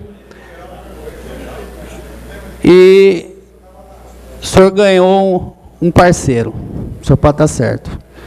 Porque de 94 deputados que foram convidados, o senhor sempre está presente e tomando a frente de tudo. Isso para nós, como político representante da população da nossa cidade, engrandece muito. A gente vê o trabalho árduo que o senhor está enfrentando, a luta que o senhor está enfrentando, e não está tendo apoio, inclusive de colegas deputados que poderiam estar aqui presentes. Eu não vim aqui falar hoje, nessa noite, para vocês, desculpe aí, senhores vereadores, todo mundo que está presente aqui, eu não vim aqui para fazer um discurso político. Eu sou mais na prática, deputado. Pelo que eu vi nesse documento aqui, participei da reunião passada, em Barra Bonita, aqui fala o DR, a autarquia está com projeto ainda em elaboração. Desde 2013 se fala em duplicação. E agora o DR vem e fala, a autarquia está com projeto ainda em elaboração. Isso é um descaso, gente. Isso é um descaso com a população. É um descaso com nós, certo? Que moramos aqui na cidade de Jaú, Barra Bonita, Igaraçu, São Manuel. Isso é um descaso conosco, gente. Nós temos que bater mais firme, nós temos que chamar os deputados, envolver a população, senão não vai sair nem a duplicação, gente. Pelo que está aqui, ó, senhor deputado, pelo que eu senti aqui, nem a duplicação vai sair. E nós estamos preocupados com pedágio. Nem a duplicação sai. Então, deputado, eu peço a colaboração de todos os vereadores, de toda a população, para que a gente tome uma outra atitude. Que saia daqui com uma outra atitude. Que a gente chegue mais firme junto ao governo do Estado. Porque é um descaso que o governo está fazendo com nós certo? A Artesp não participou de uma reunião. Fizemos uma moção aqui nessa casa, fizemos, todas as cidades fizeram e mandaram para lá. Tem alguém aqui da Artesp? Tem alguém do DR aqui representando? Olha o pouco caso que estão fazendo conosco, deputado. Então eu acho que nós temos que ser mais firmes sim, deputado. Temos que agir de outros modos agir mais firme, envolver mais a imprensa, a imprensa tem que ajudar mais também, participar mais disso. Esse é o meu desabafo aqui, deputado. Certo? Eu não sou muito de fazer política, eu não gosto de ser muito de fazer política, eu gosto mais da prática. E na prática que eu estou vendo aqui, infelizmente, eu gostaria sim que a duplicação acontecesse e o mais rápido possível, porque muitas pessoas foram mortas nessa rodovia. Inclusive, numa sessão nossa aqui, é, duas sessões anteriores, eu estava ali, eu sou o primeiro secretário, eu recebi no meu celular, certo, um acidente que aconteceu aqui na Jaú Barra Bonita, certo? Então, é toda semana vem notícia ruim para a gente aqui, gente. Então, a gente tem que agir de outro modo. Esse é o meu pensamento, deputado. E quero, mais uma vez, parabenizá-lo, viu? E você vai você ter um parceiro, tá? Deus abençoe você e seu trabalho. Amém, muito obrigado. Eu agradeço a participação do vereador Wagner Brasil de Barros. Vamos seguindo na lista alfabética. Entretanto, antes de chamar os vereadores de Avaré, letra A, eu quero aqui passar a palavra intercalando com lideranças da sociedade civil ao comandante da primeira companhia de policiamento rodoviário, comandante João Carlos Lemes, agradecendo muito a sua participação, presença sempre constante em nossas reuniões.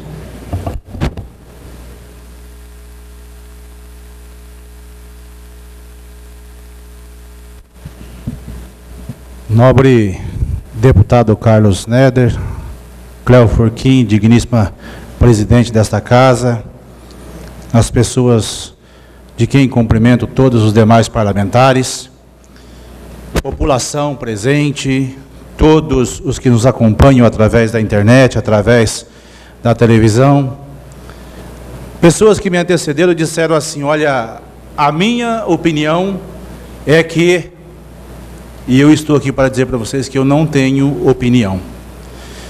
Não é que eu não tenho opinião, mas quem fala aqui é a função, não é a pessoa. E a função está aqui no objetivo de dar para vocês elementos para que vocês possam pensar essa questão. Nós trabalhamos arduamente, de dia, de noite, ininterruptamente, com um único objetivo: promover a segurança pública. E para nós não é bom, para nós não é agradável, nunca foi e nunca será atender um acidente de trânsito, por menor que ele seja. Porque o acidente, ah, mas foi só um acidente sem vítima. Circunstancialmente ele foi sem vítima, poderia ter morrido alguém. Não deveria ter ocorrido este acidente.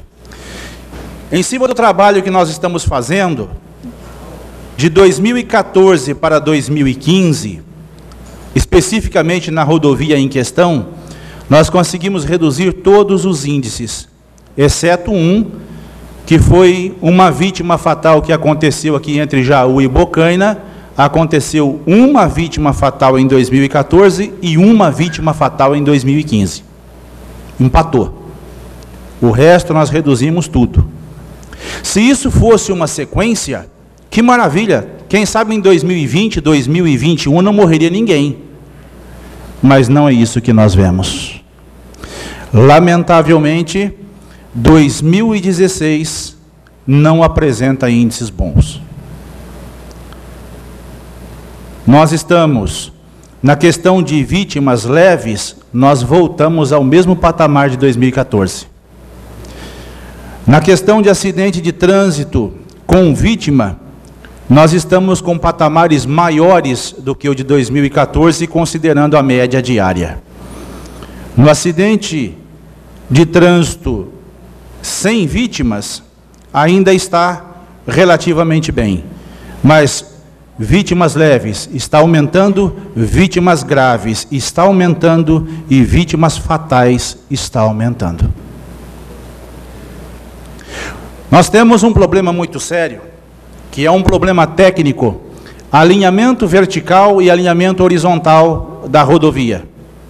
Significa, a rodovia tem muitas curvas e tem muita subida e descida. Com o escoamento da safra, com a carga de trabalho que ela é, é, variável, mas ela é especialmente sentida no período da tarde, das 13h30 até por volta de 19h30 horas. Se não houver alguma solução de engenharia na rodovia, não há muito o que se fazer. Não há, não há muito o que se fazer. Soluções simplistas de, ah, coloca a viatura, faz uma base, põe radar, não resolve. A capacidade de serviço da rodovia já está esgotada. Tem pavimento de menos para veículos de mais, para carga de mais. Então, como disse o nosso vereador que nos antecedeu, é preciso sim pensar em duplicação. É necessária a duplicação. Se com pedágio ou sem pedágio, eu deixo isso para vocês, porque é a área de vocês. Discutir a questão politicamente. Mas, tecnicamente falando, precisa haver duplicação. Porque tudo que nós conseguimos angariar em 2015, nós estamos perdendo em 2016, porque a rodovia está saturada. Ela não tem mais capacidade operacional. E isso precisa ser corrigido. E isso só será corrigido com engenharia. Dito isto, penso que trouxe informações para vocês para que possa fomentar o pensamento, para que possa enriquecer o debate. E é sempre uma honra para nós estar presente, ser convidado para isso. eh, algumas questões são debatidas e sequer perguntam para a gente. É, pergunte para nós. Nós vivemos o pavimento preto, asfáltico, no sol, na chuva, de dia, de noite, 24 horas por dia, todos os dias do ano. Muito obrigado por nos ouvir. Muito obrigado, presidente. Muito obrigado ao comandante João Carlos Lemes e parabéns pelo trabalho feito pela corporação e o fato de vocês democraticamente estarem colaborando conosco nessa discussão. Vejam que a gente precisa ter flexibilidade, né? Eu ia seguindo um método bem rígido de ordem alfabética, só que o pessoal me alertou, Itaporanga fica muito longe, se demorar demais, não vai conseguir viajar que não de madrugada. Então eu peço licença de vocês, antes de Avaré, nós vamos ouvir o Elias Lagos Alves, que é o presidente da Câmara Municipal de Itaporanga e sempre nos ajudando nessa discussão. Muito obrigado.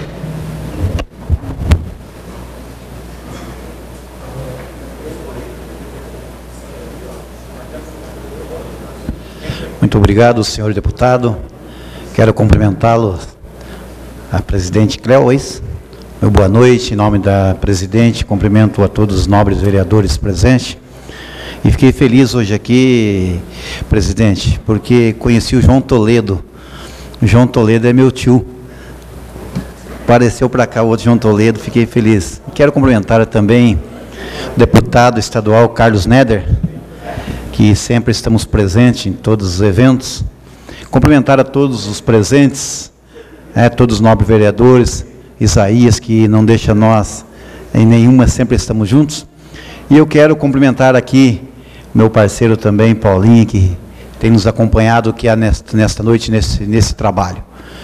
E nós viemos sempre acompanhando esse trabalho da frente parlamentar, e se diz em duplicação, se diz em melhoria, mas como disse os nobres vereadores que me antecederam, no fim só está ficando no papel e no nosso comentário. Mas, se vocês hoje, até estavam conversando com alguns dos amigos, se você for chegar até a cidade de Itaporanga hoje, que andando mais de Itaporanga mais 3 quilômetros você já está no Paraná, eu saí da minha cidade hoje às 4 horas e 25. Eu consegui chegar aqui quase oito horas. Não temos encostamento, é um perigo. E eu sempre costumo dizer, em todas as reuniões, como disse Isaías, não é a rodovia da morte, é a rodovia da sorte, né, Isaías? Porque quando você chega, você chega feliz por ter chego. E eu estou feliz nessa noite poder estar aqui, né? Mas dizer que enquanto nós estamos falando e tentando resolver, estamos no melhor caminho. Porque se nós calarmos, é pior. Por isso eu digo, não vamos se calar. Vamos continuar com esse trabalho juntamente com Carlos Neder e também com o vice-coordenador Fernando Cury, que tem nos apoiado. E vamos à luta, porque se nós se calarmos, as pedras vão queimar. E daí não resolve o problema, porque muitas vidas estão sendo ceifadas através dessas estradas. Muitos falam em latarias, esquecemos de latarias, mas vamos falar em vidas, porque a vida ela é preciosa.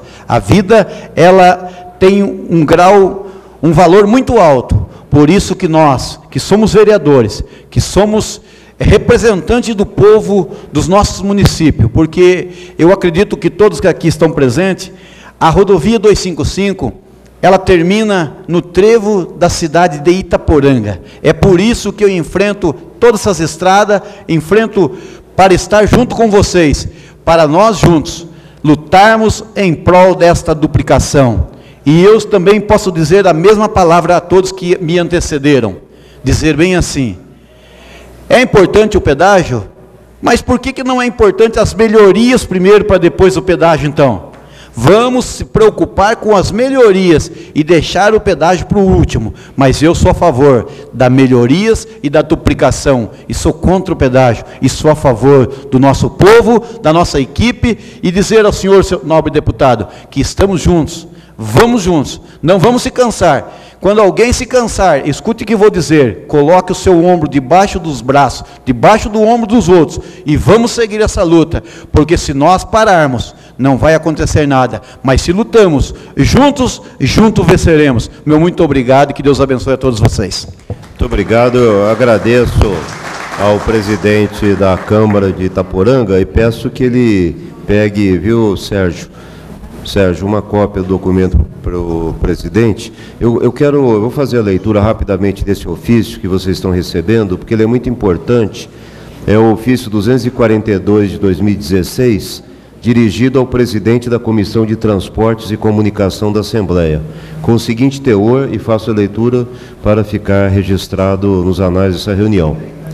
Na condição de coordenador da Frente Parlamentar pela duplicação da rodovia SP-255, venho, por meio deste, dar conhecimento aos deputados membros da Comissão de Transportes e Comunicações do inteiro teor das moções aprovadas nas câmaras municipais de Avaré, Barra Bonita e São Manuel, por meio das quais vereadores de diferentes partidos políticos requerem que a Assembleia Legislativa de São Paulo propicie urgente discussão em audiência pública sobre a expansão em curso do programa de concessão de rodovias paulistas, em especial no que se refere à rodovia SP 255. Caso assim entendam os nobres pares, propõe-se que sejam convidados para dela participarem o secretário de Estado de Logística e Transportes, o superintendente do Departamento de Estradas de Rodagem e o diretor-geral da Agência Reguladora de Transportes, Artesp. Na oportunidade, reitero a Vossa Excelência e aos demais membros da comissão meus cumprimentos pelo trabalho realizado. Este requerimento está na pauta da comissão da próxima terça-feira, dia 3, às 15 horas, na Assembleia será votado na próxima terça-feira, desde que haja quórum na Comissão de Transportes. Daí porque, se houver alguma disposição ou possibilidade é, das senhoras e dos senhores entrarem em contato com os respectivos deputados do seu partido, seria muito interessante para que a gente possa ter, se possível, uma decisão unânime na Comissão de Transportes.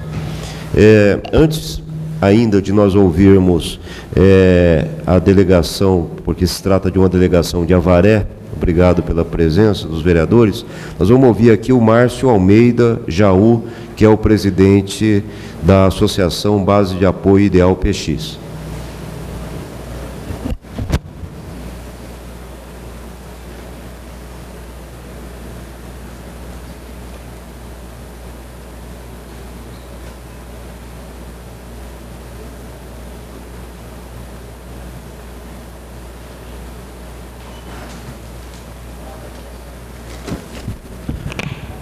Boa noite a todos. Na pessoa dessa presidente da casa que nos acolhe hoje aqui, a vereadora Cléo Forquim, cumprimento a todos os vereadores. Quero uh, para, uh, cumprimentar também a, a prefeita Adel de Bariri, cumprimentar os vice-prefeitos aqui presentes e agradecer a presença desse que já é, acho que um soldado aqui da cidade de Jaú na luta da, dessa duplicação dessa rodovia que tanto mata. Como falou bem o capitão Lemes, a, a, a realidade, a rodovia já está saturada, já não suporta mais o trânsito desses veículos que trafegam aí nessas 24 horas, cana-de-açúcar, soja, milho e todos os outros. Caro deputado, não vou me estender muito não, é, da última reunião que a gente esteve em Itaí, a gente voltou para Jaú e a gente topou com um acidente com vítima fatal. Duas pessoas perderam a vida. E aquilo nos sensibilizou muito, a base ideal PX, a qual a gente, eu e mais o sargento da reserva, o Rocha, que compõe comigo a base ideal PX, voltamos para a cidade de Itaí, fazer algumas vistorias lá. E topamos com uma placa do governador do estado de São Paulo, iniciando é, verbas na casa de 6 milhões e 700 e poucos mil reais para a conservação daquela rodovia. Os vereadores aqui de, de Itaí estão presentes. Gente, a nossa SP255 aqui está com problema, mas vocês estão na roleta russa. Nós vamos encaminhar ao Senhor é, alguns ofícios cobrando do DR de Itapetininga e do DR do Estado de São Paulo, aonde foram gastos aproximadamente hoje está na casa de 26 milhões de reais em conservação, sabendo que a gente tirou naquela região mais de 150 fotos e a placa mais nova é de 2013. Aonde não tem acostamento, aonde, caro deputado, aqui também vai nesse ofício, para que peça para que os engenheiros do DR daquela cidade façam uma vistoria urgentemente no KM 292 mais 800, aonde existe uma passagem é, de água totalmente assoreada e a pista está trincada e está afundando naquele local. Vamos pedir também, é, caro deputado, nesse mesmo ofício, que vai ser entregue ao senhor, que o DR daquele local explique e forneça a, ao senhor o contrato dessa execução de obra, onde está sendo aplicado esse dinheiro, de que forma está sendo aplicado esse dinheiro, é, sendo que esses 20, quase 26 é, milhões de reais consta no diário oficial. E quero já deixar claro que é o mesmo ofício que a gente está entregando é, para o caro deputado Neder, a gente vai protocolar no Ministério Público da cidade de Itaí. E vamos dar ciência também à Procuradoria do Ministério Público em São Paulo. Porque não nós não podemos aceitar, gente, uma rodovia que tanto mata, que tanto destrói famílias, que tanto é, ceifam vidas. Nós temos que nos unirmos aqui, independente de sigla partidária, independente de religião, independente de qual for a, nossa situação, lutarmos por essa rodovia segura. E quero pedir aí o apoio do pessoal do Itaí nessa luta conosco, no trabalho voluntário dessa associação, a qual eu tenho orgulho de representar aqui na cidade de Jaú. Agradeço a presença de todos e vamos continuar lutando. Na nossa região aqui na cidade de Jaú, o DR, o DR fez uma coisa que não, até dei ciência ao capitão Lemes, que não tinha conhecimento, ele proibiu os caminhões canavieiros de utilizar o viaduto da 294. Aí começaram-se a pular a pista, próximo ao condomínio Framboyant. Mandei a, mandei a, a filmagem para o deputado também. E dei ciência ao Ministério Público, porque o, o, DR está brincando de roleta russa com nós aqui, a gente não pode aceitar mais essa forma. Então, caro deputado, está aí nos ofícios, cinco ofícios, encaminhado ao senhor, que o senhor peça também explicações ao DR de São Paulo, por que dessa restrição, aonde ele proíbe o caminhão de utilizar um dispositivo seguro e, peça, e impede para que os caminhões pulem a rodovia. Obrigado a todos, conte conosco, e nós lutamos a favor da vida, por uma rodovia segura. Muito obrigado ao Márcio Almeida, que é presidente da Associação Base de Apoio Ideal PX. Eu recebo aqui os documentos. Se houver duas vezes, depois eu assino o recebimento. E nós estamos providenciando aqui a retirada de cópia de um documento que eu achei muito interessante, que são perguntas feitas pelos vereadores de Tanhaém, que, entregues ao governador Geraldo Alckmin, tiveram como subproduto a decisão de cancelar a instalação de praça de pedágio. Então vejam que são vereadores de Itanhaém que fazem perguntas muito objetivas e que eu acho que servem a todos os municípios aqui. Então eu peço que os vereadores, antes de se ausentarem, peguem pelo menos uma cópia é, desse material, porque eu acho que é interessante ser discutido o nome de cada uma das câmaras. Vamos agora ouvir os vereadores de Avaré, começando pelo doutor Ernesto Albuquerque.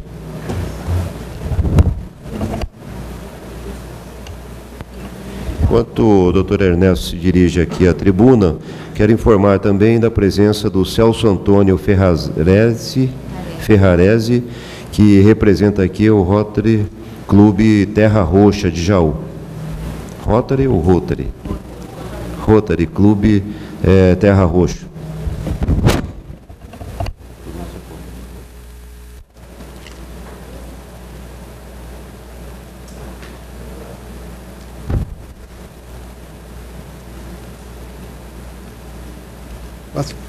É, boa noite a todos, boa noite, deputado Carlos Neller, parabéns pelo trabalho.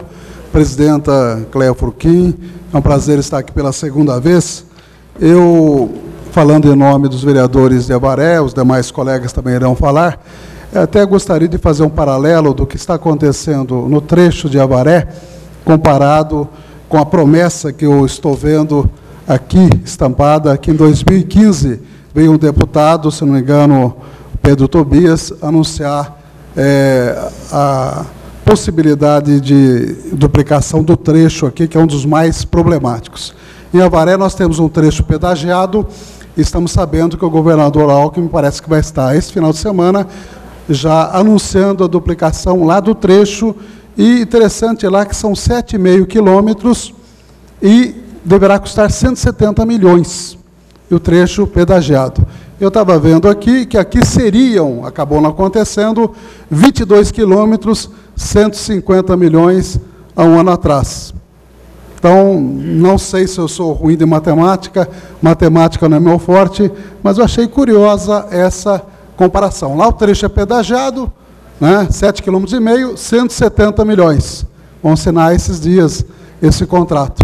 E aqui seria 150 milhões e 22 quilômetros. Queria também dizer que essas três últimas vítimas que foram, que morreram esses, esses últimos dias são todas de Avaré. E quando a gente olha a estatística, a gente eh, se baseia no número, mas obviamente muito mais do que o número são pessoas. Eu, um dos casos, particularmente, eu vou, como eu sou médico pediatra de profissão, uma das pessoas que faleceram foi sepultada ontem, uma senhora de 58 anos, que eu acompanhei a trajetória dos filhos dessa senhora. E essa senhora teve duas fatalidades assim muito raras. Ela perdeu uma criança que eu acompanhei com um tumor raríssimo de medula óssea, de medula espinal, tumor de caldo equina, isso já há algum tempo atrás. E tempos atrás também perdeu uma menininha de três anos com tumor maligno de ovário, que eu acompanhei essa senhora, agora aos 58 anos, é vitimada aqui pertinho, se não me engano, em Garaçu, num acidente. Então, mais do que estatística, a gente tem, obviamente, que lembrar que numa estrada, como bem disse o comandante, uma estrada saturada, isso não pode continuar acontecendo. Então, estou citando esse fato, porque às vezes o número frio não diz nada, mas a realidade é muito mais profunda do que um simples número. Então, dessa maneira, obviamente, ninguém poderia ser contra a duplicação, todo mundo aqui é a favor. Certamente que a imensa maioria é contra também o pedágio, né? que realmente, é, e essa pessoa, só para complementar, vinha até, até Jaú justamente para acompanhar um irmão dela que estava em tratamento oncológico também.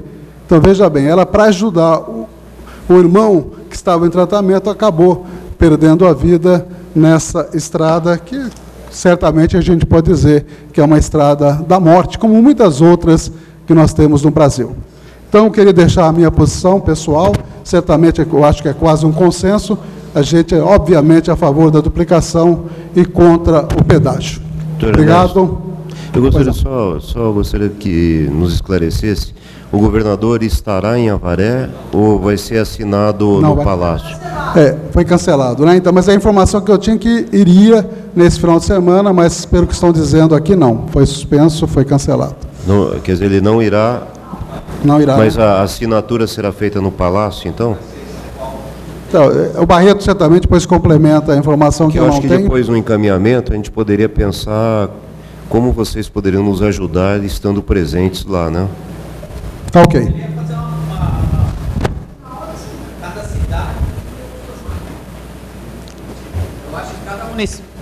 Desculpa, eu acho que cada município aqui representado devia, devia levar um representante lá, aproveitar esse ato também e cobrar do próprio governador. Tá certo. Então eu me despeço aqui e bom trabalho a todos. Obrigado. Eu agradeço ao doutor Ernesto e convido agora o Francisco Barreto para se pronunciar. Francisco Barreto de Monte Neto, vereador também de Avaré.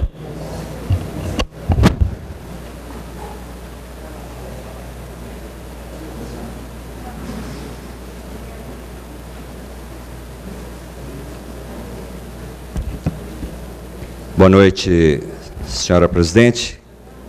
Nós, vereadores de Avaré, agradecemos pelo convite.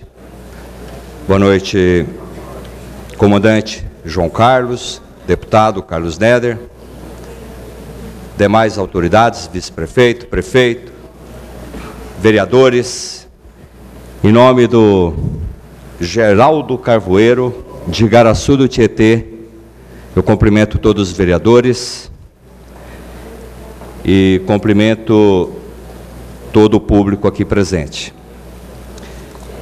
Deputado, realmente estava marcado para o governador estar em Avaré para assinatura desse contrato, mas vai ser em São Paulo, não sabemos a data. Hoje o prefeito Poio, por volta das 16 horas, estava recebendo uns representantes da CCR Vias, e a reunião terminou tarde, a gente veio embora, não sabemos os resultados, só sabemos que realmente a assinatura é, vai ser em São Paulo.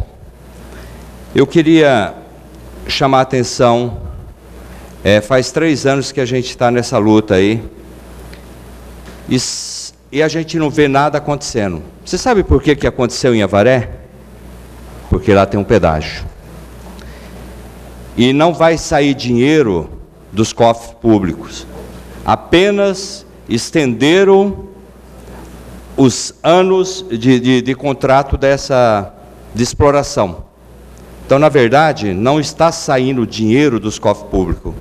Era de 30 anos, vai passar 40, não sei qual é a data.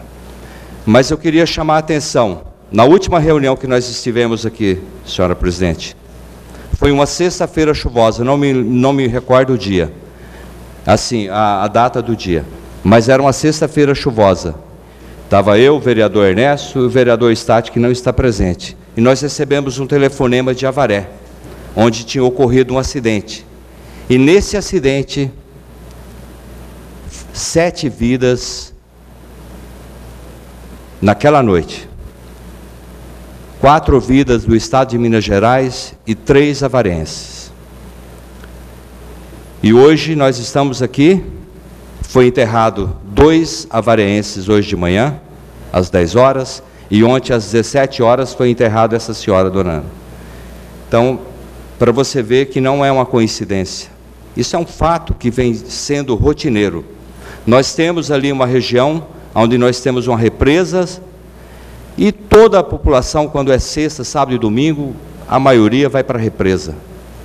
Não precisa aqui falar. As pessoas vão para a represa, acaba exagerando, usa de bebida, infelizmente isso acontece. Então nós temos uma região muito perigosa. Muito perigosa. E nós de Avaré, sabemos é, que vocês de Jaú foram os primeiros, foram os pioneiros a começar esse trabalho e a gente percebe que Jaú não andou, outras cidades da região não andou, Igaraçu não andou. E por que que Avaré andou? Simplesmente Itaí não andou, né, Isaías? Só pela praça de pedágio. E eu lembro do seu discurso, Geraldo. Quando você falou, você chamou a atenção. E é isso que está acontecendo. Próximo das eleições, nos enche de esperança, chega, vai acontecer, isso vai vir, vai acontecer e nada acontece. Então eu queria chamar a atenção por que, que está sendo duplicado o trecho de Avaré, que é de 7,5 km. Simplesmente porque nós temos uma praça de pedágio e esse contrato foi alongado, só por isso. Então, deputado, parabéns pelo seu trabalho. Avaré agradece porque pelo menos Avaré foi contemplado, mas não é isso que vai deixar a gente contente. Nós sabemos de toda essa região.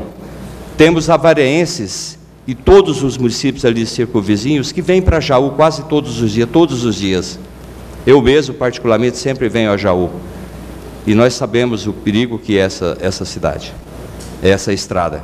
Então, Avaré não é porque duplicou o trecho urbano que nós vamos parar de participar.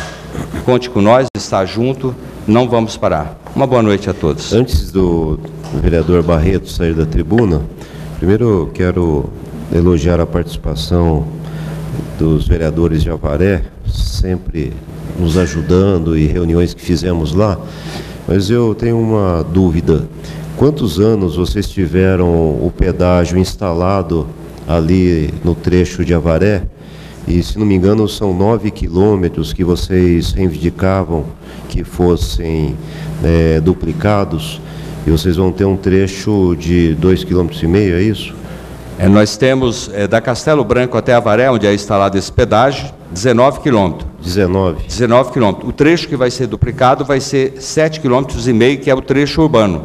A cidade tá, a, a estrada está passando, a rodovia passa por dentro de Avaré. A cidade cresceu, a metade de uns bairros fica de um lado, as empresas, e o trânsito praticamente muito perigoso passa por dentro de nossa cidade.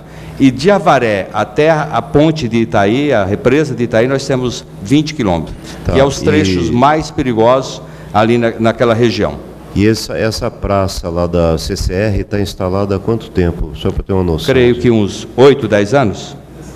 Quanto? 15 anos? 15 anos. 15 anos. Só para nós analisarmos, quer dizer, se instalou a praça de pedágio, 15 anos depois está vindo a duplicação não do trecho total, mas de 7,5 km, que é uma conquista de vocês, né? O prefeito Poio participou de várias reuniões conosco, né? mas é necessário que a gente avalie também o tempo que leva entre arrecadar o recurso e investir na melhoria da rodovia. Né? Pelo menos lá foi assim. Obrigado. Muito obrigado a todos. Boa noite.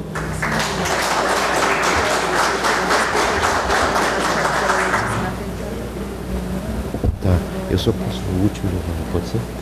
Então, vamos ouvir o vereador Marcelo José Ortega, que é o, último representante de Avaré.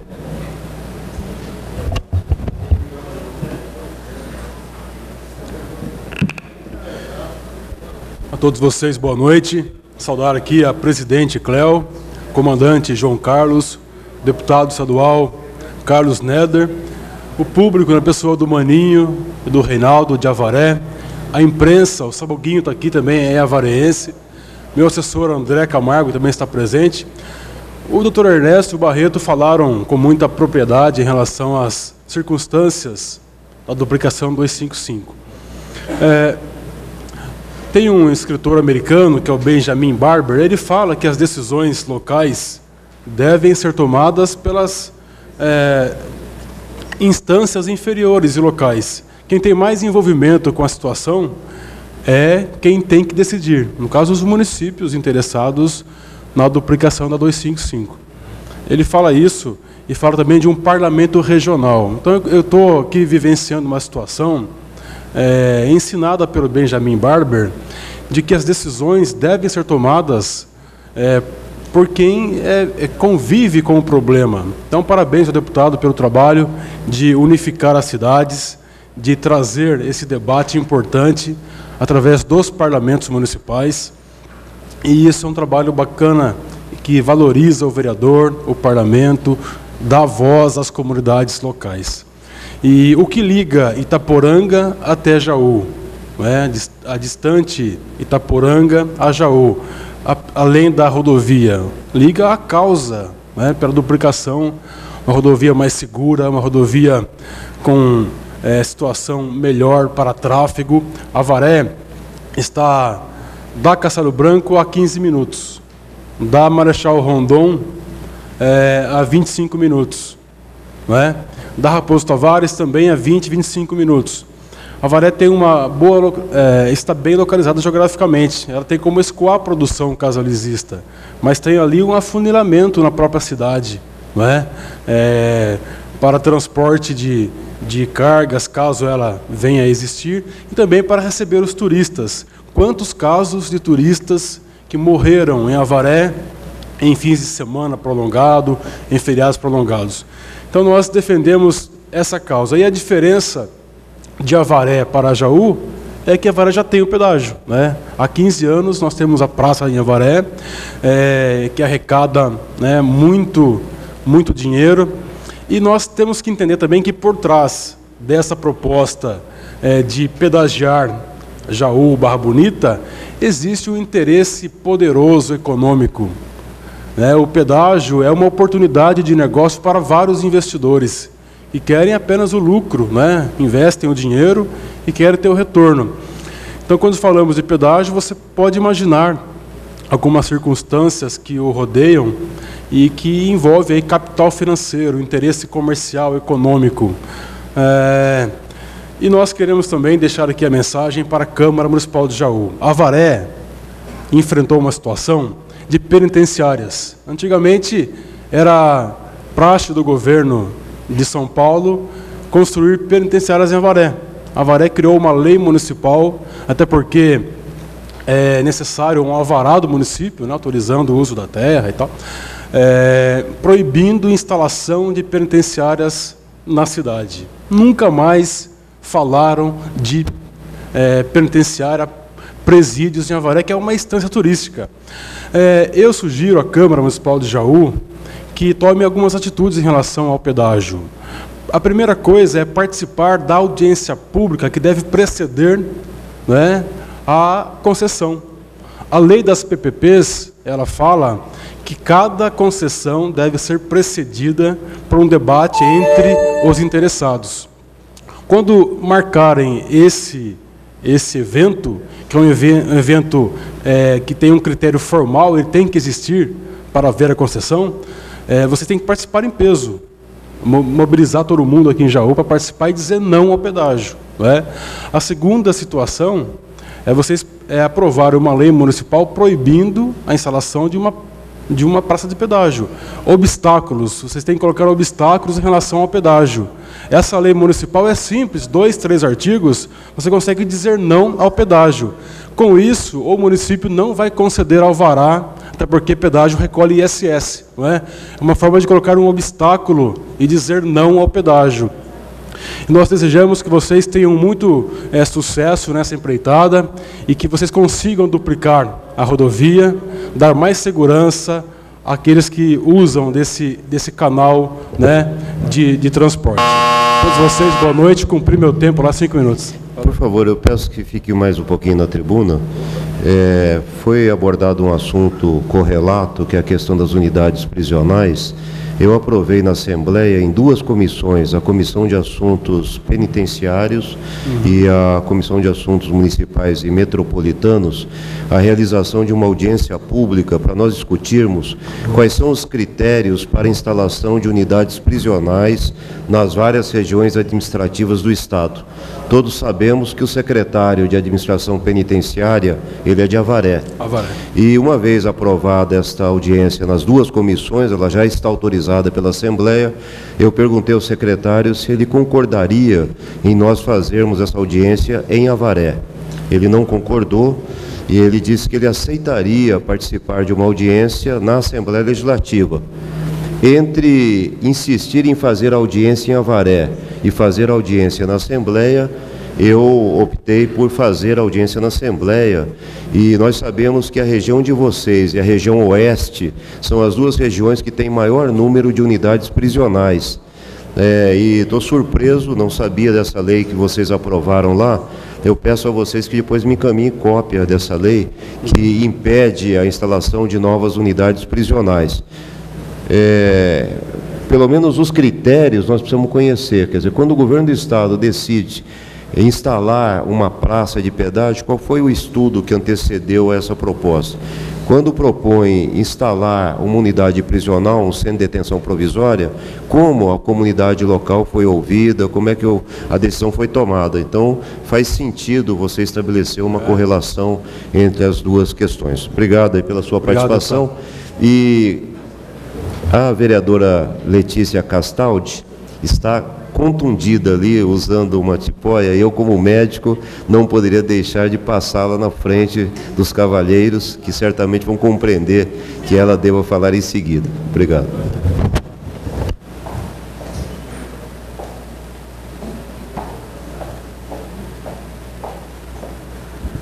Muito boa noite a todos. Eu agradeço a quebra de protocolo, porque realmente estou com o ombro lesionado e estou sentindo um pouco de dor. Boa noite, presidente dessa casa, minha colega Cléo Furquim, É, boa noite, deputado Carlos Neder, comandante da Polícia Militar Rodoviária. É, eu trago o apoio da nossa cidade, São Manuel, a essa causa tão nobre quanto a duplicação da SP 255, mas nesses debates, nós já tivemos um debate em São Manuel há tempos atrás, a gente vê que muitas vezes o valor econômico se sobrepõe o valor à vida, porque agora nós temos aí a questão da imposição de praças de pedágio para que seja, então, finalizada a duplicação. Não é isso que a gente quer. A gente quer realmente a duplicação da SP 255 e depois a gente discute a questão do pedágio. Também não podemos é, deixar de pensar que uma, é, uma estrada pedagiada ela traz muito mais benefícios e muito mais cuidados dentro dessa estrada, mas esse não é o momento da gente discutir isso. Vamos unir, unir forças, eu acho que todas as câmaras, todos nós vereadores, trago também o apoio do deputado federal Milton Monte, que se colocou à disposição para estar colaborando com aquilo que precisar, para que a gente mude esse estigma de rodovia da morte para realmente uma rodovia aí do progresso. É isso que a gente quer para a nossa região. Tá bom? Muito obrigada, parabéns pelo seu trabalho à frente parlamentar aí dessa duplicação, deputado, e a gente coloca São Manuel à disposição aquilo que precisar. Tá bom? Muito obrigada. Eu agradeço muito a vereadora Letícia, que mesmo com esse problema fez questão de vir até aqui e reitera a oferta de que uma próxima reunião nossa seja feita na querida cidade de São Manuel. Muito obrigado. Vamos é, ouvir é, o vereador José Aparecido dos Santos, de Bariri, por favor.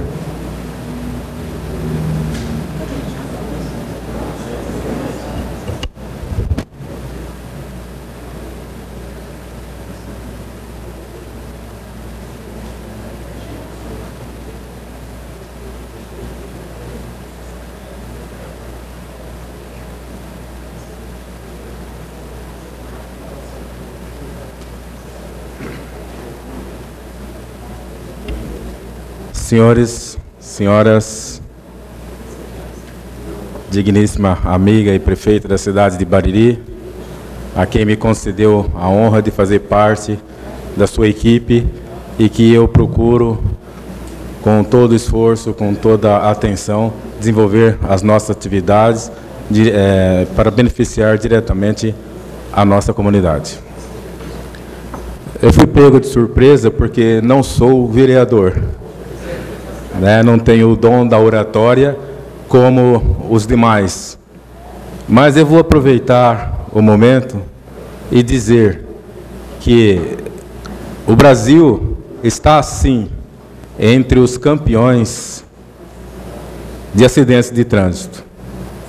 Ceifa a vida de idosos, jovens, principalmente jovens e crianças. Ainda há pouco, uma vereadora nos perguntou: quanto vale uma vida? Quanto vale um ser humano machucado em acidente de trânsito?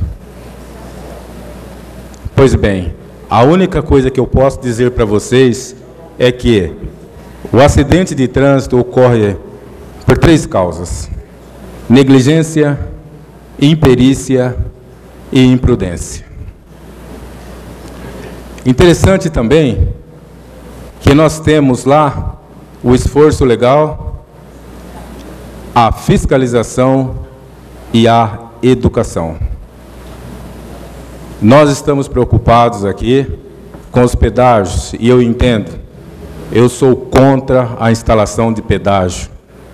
Chega de nós brasileiros sermos extorquidos pelo governo, porque hoje para sair numa cidade como Bariri e se deslocar até a capital, o preço que você paga do pedágio equivale ao preço do consumo da gasolina. Sem contar que não é só o consumo da gasolina, temos também o consumo da nossa vida que está em jogo. Gostaria que se colocasse também nessa questão do pedágio um artigozinho ou alguma coisa que dissesse sobre a educação. Vamos educar nós, brasileiros, porque sempre temos a questão de aquele jeitinho. E esse jeitinho na rodovia tem ceifado vidas. Então, unamos-nos também, não somente na questão financeira do pedágio, o pagamento do pedágio, unamos-nos também na questão da educação, ensinar nossas crianças, nossos jovens a transitar não só na rodovia, mas também frente à escola, na rua, no dia a dia. E independente disso, também, senhor deputado, cutucar nosso vereador, nosso governador e dizer que está uma vergonha a segurança pública aqui na nossa região.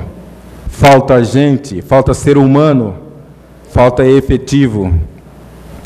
E que e o mais importante, falta dinheiro para pagar a esses pais de famílias que estão morrendo todos os dias para dar a segurança tão necessária aos nossos municípios. Nós estamos, eu digo nós porque eu sou militar, sou subtenente da Polícia Militar, há dois anos sem reajuste salarial. Estamos completamente desmotivados.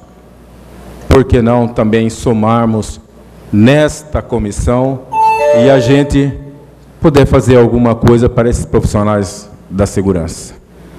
Agradeço mais uma vez a oportunidade do deputado, do nosso comandante que está aqui, Cléo Furquim, um prazer enorme conhecê-lo, vir falar, e do meu amigo Formigão. Muito obrigado a todos, uma boa noite e até uma outra oportunidade, se Deus assim permitir. Bariri está à disposição, né, prefeita, de toda essa comunidade que estão aqui presentes. Obrigado. Eu quero fazer uma, uma correção porque o José Aparecido Santo, que acaba de se pronunciar, ele é o diretor de trânsito de Bariri, veio acompanhando a prefeita, e eu já o elegi vereador. Né? Então não sei se ele é um futuro candidato a vereador, mas já foi lançado aqui. Espero não ter criado nenhum problema político na cidade. E de maneira corajosa ele aborda o problema da segurança pública, da remuneração é, dos policiais militares, e essa é uma questão que tem sido objeto de uma discussão permanente na Assembleia, que é um decreto que foi editado e que impede é, nomeações, recuperação de perdas salariais e que não é razoável que isso seja assim, em especial nesta área em que vocês atuam. É, nós vamos ouvir agora a vereadora Crista Pelican Teixeira, de Barra Bonita, e que. Pode ser. É que eu achei que você fosse falar da iniciativa que você tomou, da, da, da resposta que recebeu. Tem certeza que não quer?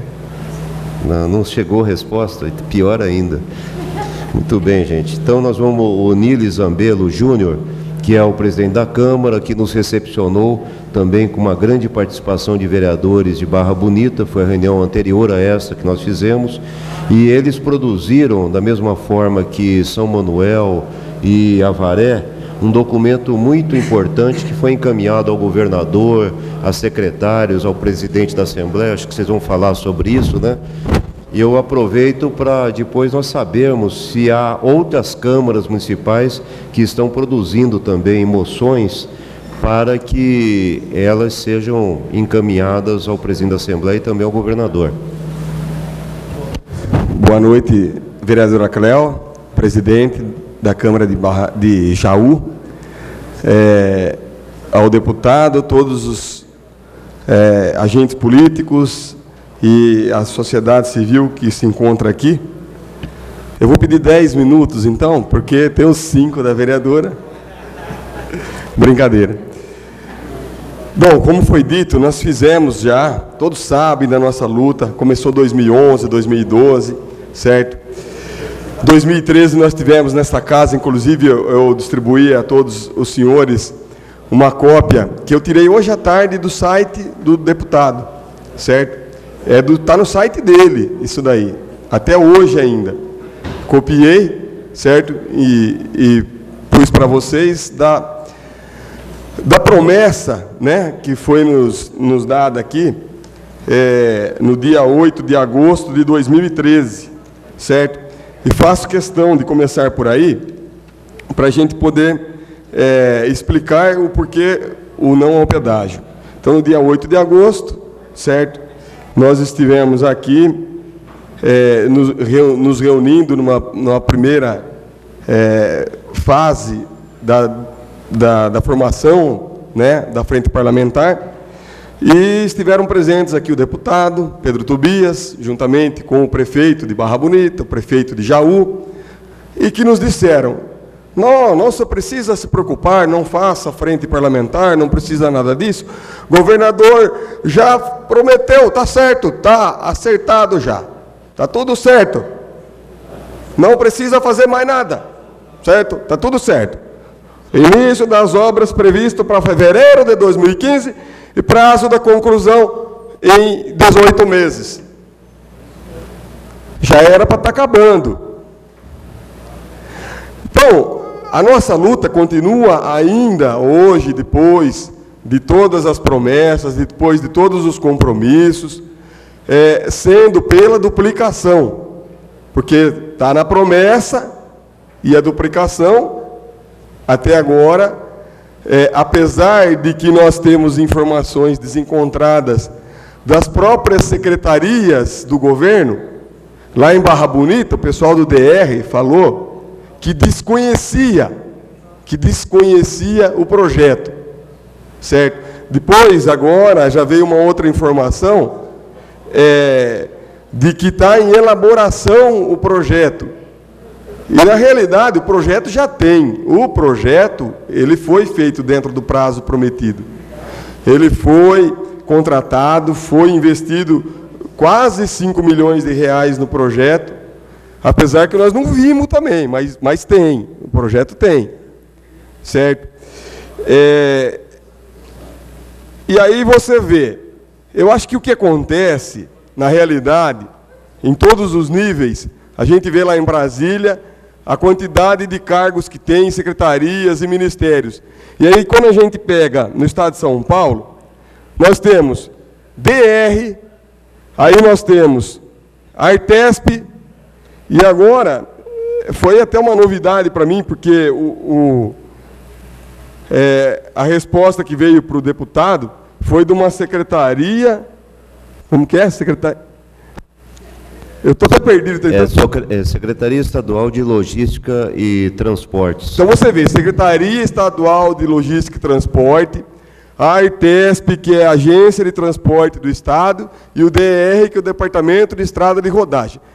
São, aí são no mínimo já, nós estamos vendo três, três órgãos, e que pelo jeito eles não se entendem nem entre eles, porque ninguém sabe, cada um dá uma informação, certo? É, desencontrada. Agora, como disse no começo, o pedágio nós somos contra, não só pelo fator financeiro, mas porque não foi isso que nos foi prometido. Não era esse o compromisso que nós tínhamos, certo? O compromisso era que se fosse feito, certo?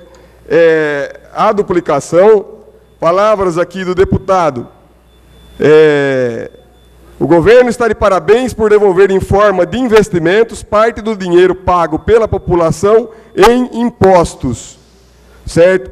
E aqui o imposto pago pelo cidadão volta em forma de novas escolas, novas creches, novas estradas, investimentos em saúde e moradia, enfim, desenvolvimento do Estado. Então é isso que nós queremos exigir. Continuar exigindo a duplicação e com recursos provenientes dos impostos que nós já pagamos, certo? A discussão depois do pedágio sim, do pedágio não, nós vamos voltar a discutir mais para frente. Mas a duplicação é um compromisso. Milhares de votos foram despendidos para o governador, para o deputado, certo? Para os próprios é, prefeitos que agora vão vir aqui pedir voto para a população novamente. E é bem capaz, deputado, de acontecer o seguinte. Desculpe aí eu passar o tempo, mas é capaz de acontecer o seguinte, certo? Daqui dois, três meses, a hora que faltar um mês para a eleição municipal, virem os mesmos prefeitos aqui batendo peito. Nós conseguimos que não vai ter mais pedágio, certo? Então, o, o trabalho que vocês, vereadores, o trabalho que a frente parlamentar está fazendo não serve de nada. Certo? Nós, ah, nós fomos lá, como eles conseguiram a duplicação, que não veio também, eles vão bater no peito. Ó, oh, nós conseguimos, não vai ter mais pedágio.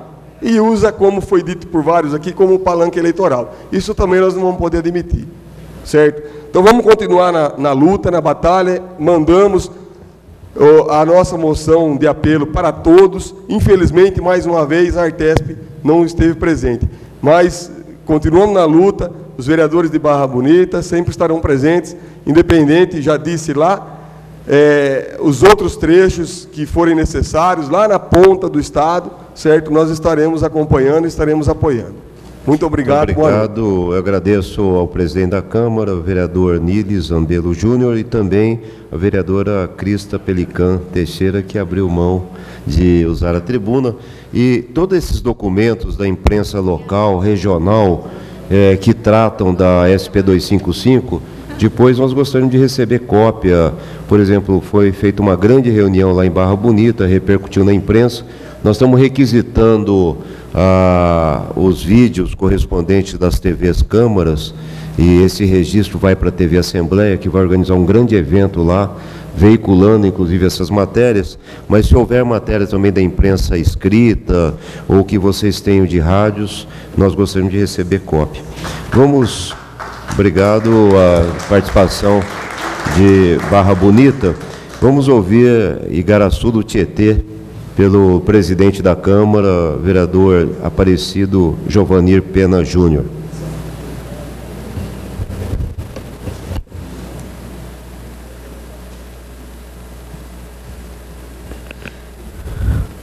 Boa noite, excelentíssima senhora presidente, Creu Furquim, por presidir essa sessão, juntamente com o nosso deputado, doutor Carlos, Carlos Neder.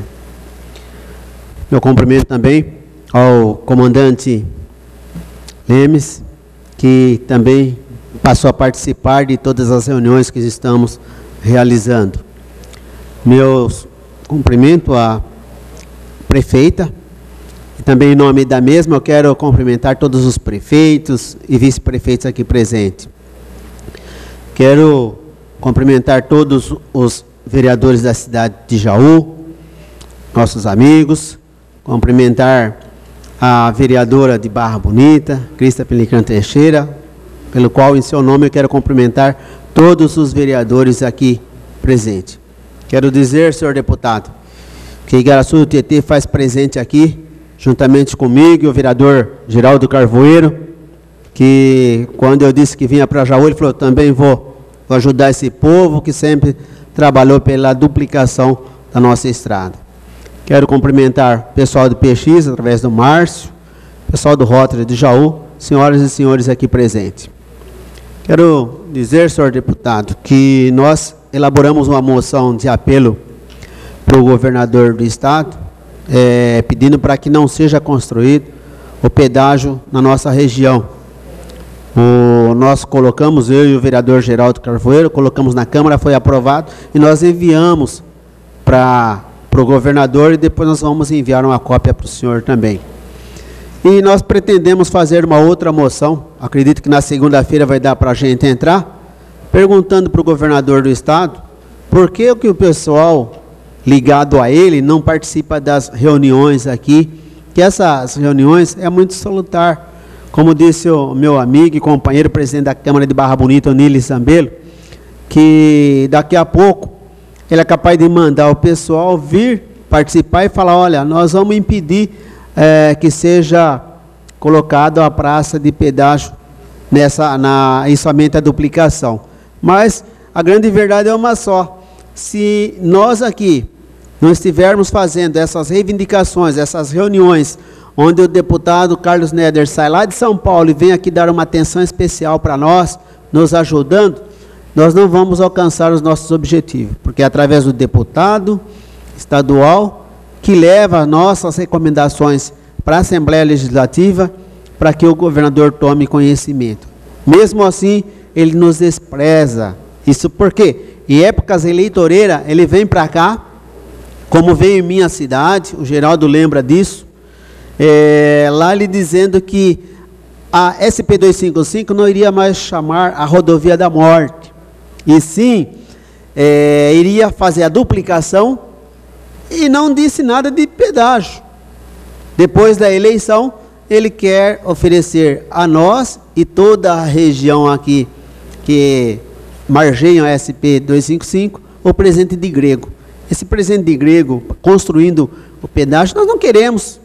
O povo brasileiro já paga imposto demais, não aguenta mais tantos impostos. Então, eu gostaria de é, cumprimentar a todos os senhores e senhoras que participam dessa união, cada vez fortalecendo ainda mais. Agradecer o deputado Carlos Neder, que sempre está aqui presente junto com a gente, para lutar e dar mais força ainda a esse grupo que nunca vai, é, que nunca vai abandonar. Nós estaremos sempre em cima, lutando e gritando para que o governo passe a escutar a gente, não só em época de eleição, mas agora também que nós estamos precisando dele, porque nós estamos perdendo muitos amigos, companheiros, estudantes, trabalhadores, é, pessoas que circulam das cidades vizinhas para os hospitais aqui da cidade de Jaú. Então, nós precisamos estar sempre lutando para que essa praça de pedágio não venha a ser construída, e sim a duplicação. Meu muito obrigado a todos, fiquem todos com Deus.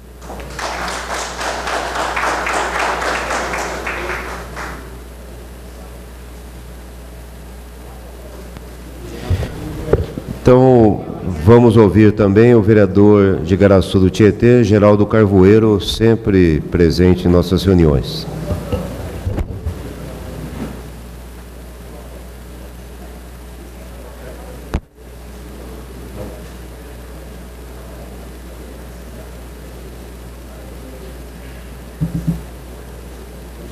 Que chique.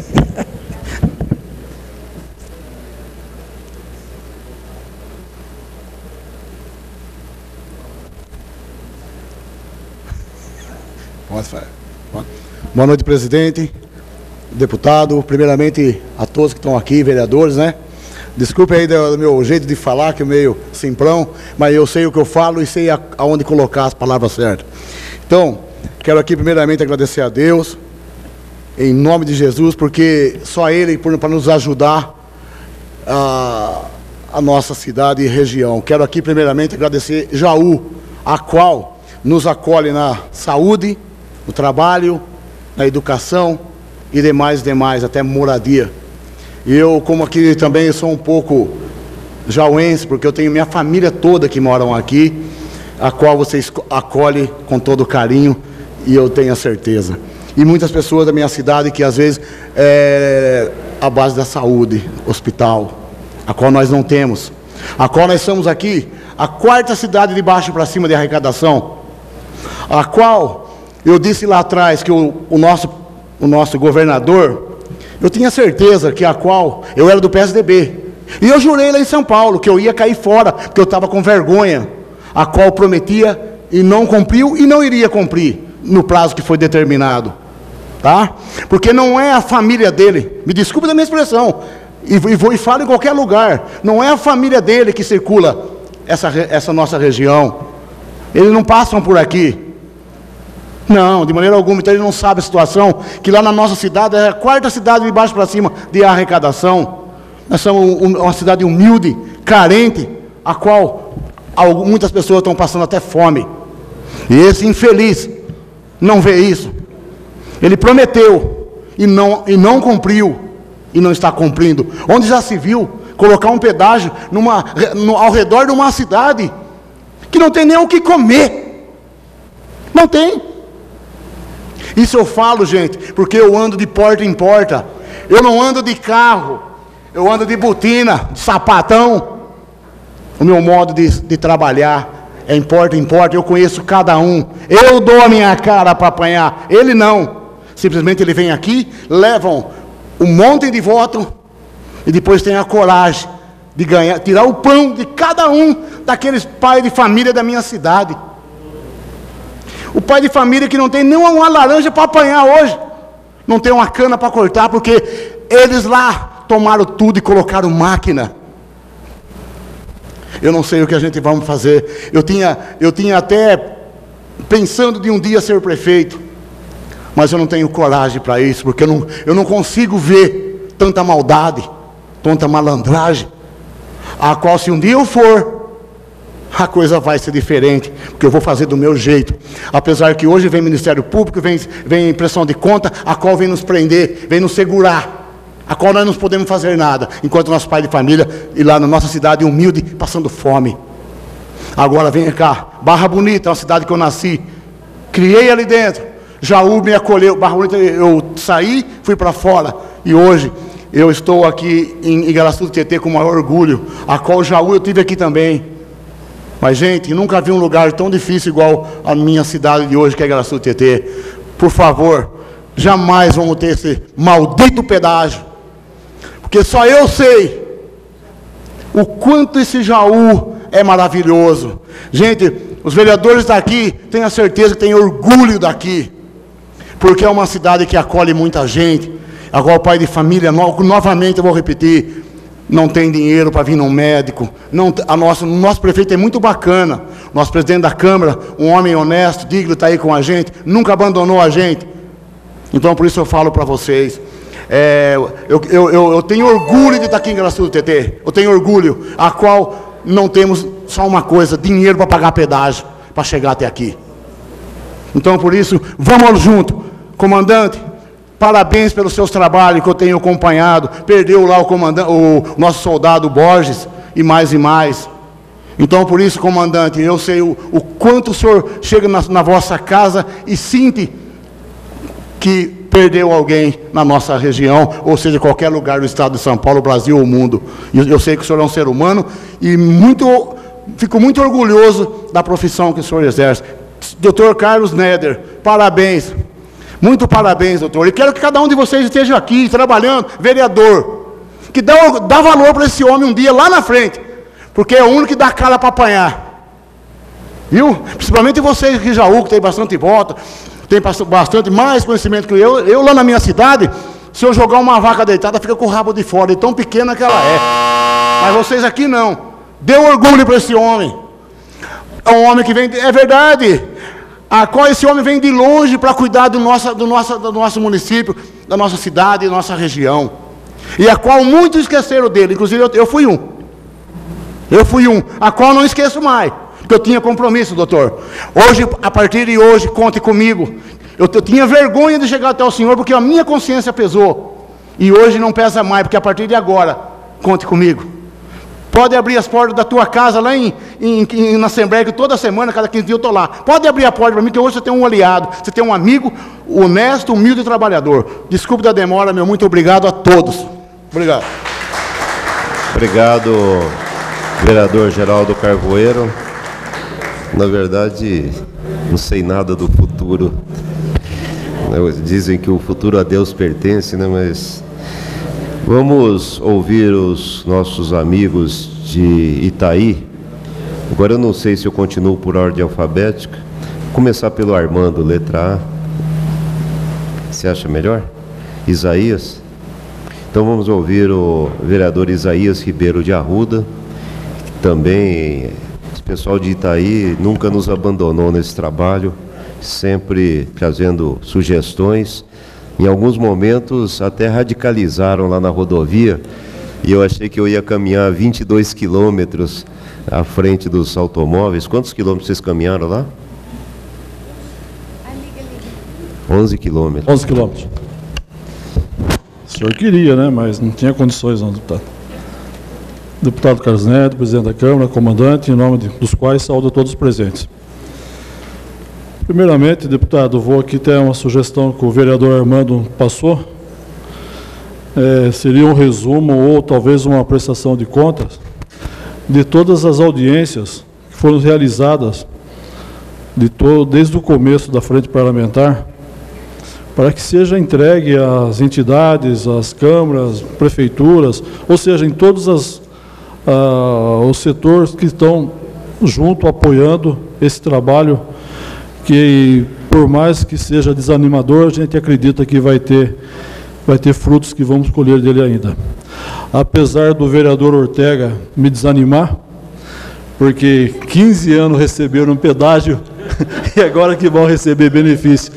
Gente, quem conhece a nossa região sabe, quiser conhecer o verdadeiro descaso, pegue da Raposo Tavares até Itaí, o deputado fez quase a pé, que ele deu uma caminhada boa. Mas vai até Itaporanga. Itaí e Itaporanga são aproximadamente 100 quilômetros e é o verdadeiro descaso. Para vocês terem uma ideia, é, tem o um trecho aqui entre São Manuel a, a Castelo Branco. Não é bonito, não é bom. O nosso é pior. Tá? O pessoal do PX estiveram lá, conversei com eles, apresentou um bom trabalho, um bom levantamento que eles fizeram. E em relação àquela placa que existe é, de manutenção da rodovia, já fizemos esse pedido ao deputado também, que a gente gostaria de saber aonde que era o investimento que era feito é, através daquele valor anunciado. Mas, infelizmente, muito dinheiro eu acredito que saia, porque o orçamento é grande. Hoje a placa anuncia em valor de 6 milhões mas mal fazem o carpir, cortar aquele mato que fica tomando conta da rodovia. É, uma outra coisa que chama a atenção, quando o comandante da Polícia Militar falou, é em relação às mortes na rodovia. Falou numa estatística, mas ela é relacionada apenas àqueles que perdem a vida nos acidentes na rodovia. Ou seja, em Avaré, esse último acidente, a vítima foi socorrido e veio a falecer no hospital. Então, se a gente for colocar os números realmente de pessoas que estão perdendo a vida em rodovia, é, eu acredito que seja bem, bem acima do que o Estado apresenta. Eu gostaria de, infelizmente, o presidente da Câmara de Itaporanga não está aqui, já foi, mas que se a gente pudesse novamente fazer uma reunião em Itaporanga que os vereadores aqui de, de Jaú, Barra Bonita, ou seja, Garaçu do Tietê, fossem até, até Itaporanga para conhecer realmente a situação é, da nossa região lá, que realmente é caótica. É difícil porque a gente tem a terceirizada que vem é, até Raposo Tavares, é uma paisagem, passando ao trevo da Raposo, que o deputado fez uma caminhada lá, e sabe como que muda até a placa são colocadas com um pedaço de pau. Tá? São placas velhas, sem falar da questão, como eu já falei da outra vez lá em, em Barra Bonita, sobre ah, o acostamento, mas é um corredor mesmo que você passa e tem que pedir a Deus que guarde na ida, na vinda, ou, ou aquele momento que você está passando, porque realmente um descuido ali é fatal e se precisar sair no acostamento, principalmente, quem não conhece a região, ele pode ter sérios danos. Então, é, a gente vai continuar nessa luta, eu acredito, deputado, que, que há de, de iluminar, acho que não só o coração, mas como a mente do governador, porque voto, voto eles levam e levam muitos. E o retorno que a gente precisa, infelizmente, não tem. Então fica aí, essa é, é, a minha posição, é a posição dos vereadores de Itaí. E a gente pede que, que dê tudo certo, que realmente venha a ter alguma melhoria. Agora, em relação ao pedágio, eu espero que não, que não também, porque se a gente for esperar 15 anos para ter a melhoria, prefiro que não tenha, então sou contra o pedágio. Obrigado. Eu queria entender, vereador Isaías, vocês vão votar na segunda uma moção, é isso? pretendem votar na segunda uma moção? É, desculpa, até eu peguei lá para falar, sim, vai ser votada a moção na segunda-feira. E okay. já estaremos encaminhando também para São Paulo. Obrigado. Então. Oi? Oh, sim, pois não. Eu gostaria de fazer uma, uma pontuação a respeito da fala do nobre vereador. Ele disse uma coisa que a gente tem que tomar cuidado ele disse que o número de pessoas que morrem na rodovia é realmente maior do que aquele que o Estado divulga. Né? Nós tivemos oportunidade de falar isto lá na, na audiência da Barra Bonita, que existe uma, uma diferença conceitual. Né? Para os fins de registro que nós fazemos, vítima fatal de acidente de trânsito é aquela que morre no local ou imediatamente após e depois de fechado o atendimento da ocorrência, não se muda mais a natureza. É, e eu fico feliz porque nós temos médico aqui presente, doutor, uma satisfação. Mas pela norma brasileira, pela ABNT, vítima fatal de acidente de trânsito é aquela que morre em decorrência do acidente até 30 dias após o evento. E não se conta isso, não se contabiliza isto. A estatística mais próxima da realidade é, da, é tirada do DataSUS, pelo Sistema Único de Saúde. Mas não dos boletins de ocorrência não tem como saber isso. Nós não temos como acompanhar todas as vítimas por, pelos próximos 30 dias para ver o que aconteceu com elas. Então, assim, existe uma divergência? Existe. Mas não é uma má-fé nem de quem presta o atendimento e nem do Estado que divulga a estatística. Ok? Obrigado. Obrigado pelo esclarecimento. É, a gente agradece novamente a participação do vereador Armando Camilo Martins, de Itaí, e eu convido o vereador Silvio Cassu, também de Itaí, para se pronunciar.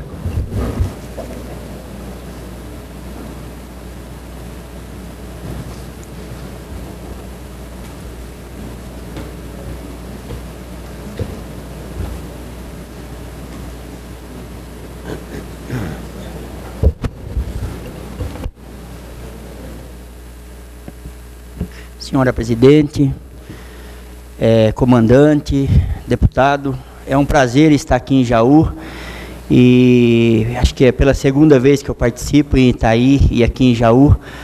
Vou estar participando mais vezes e apoiando.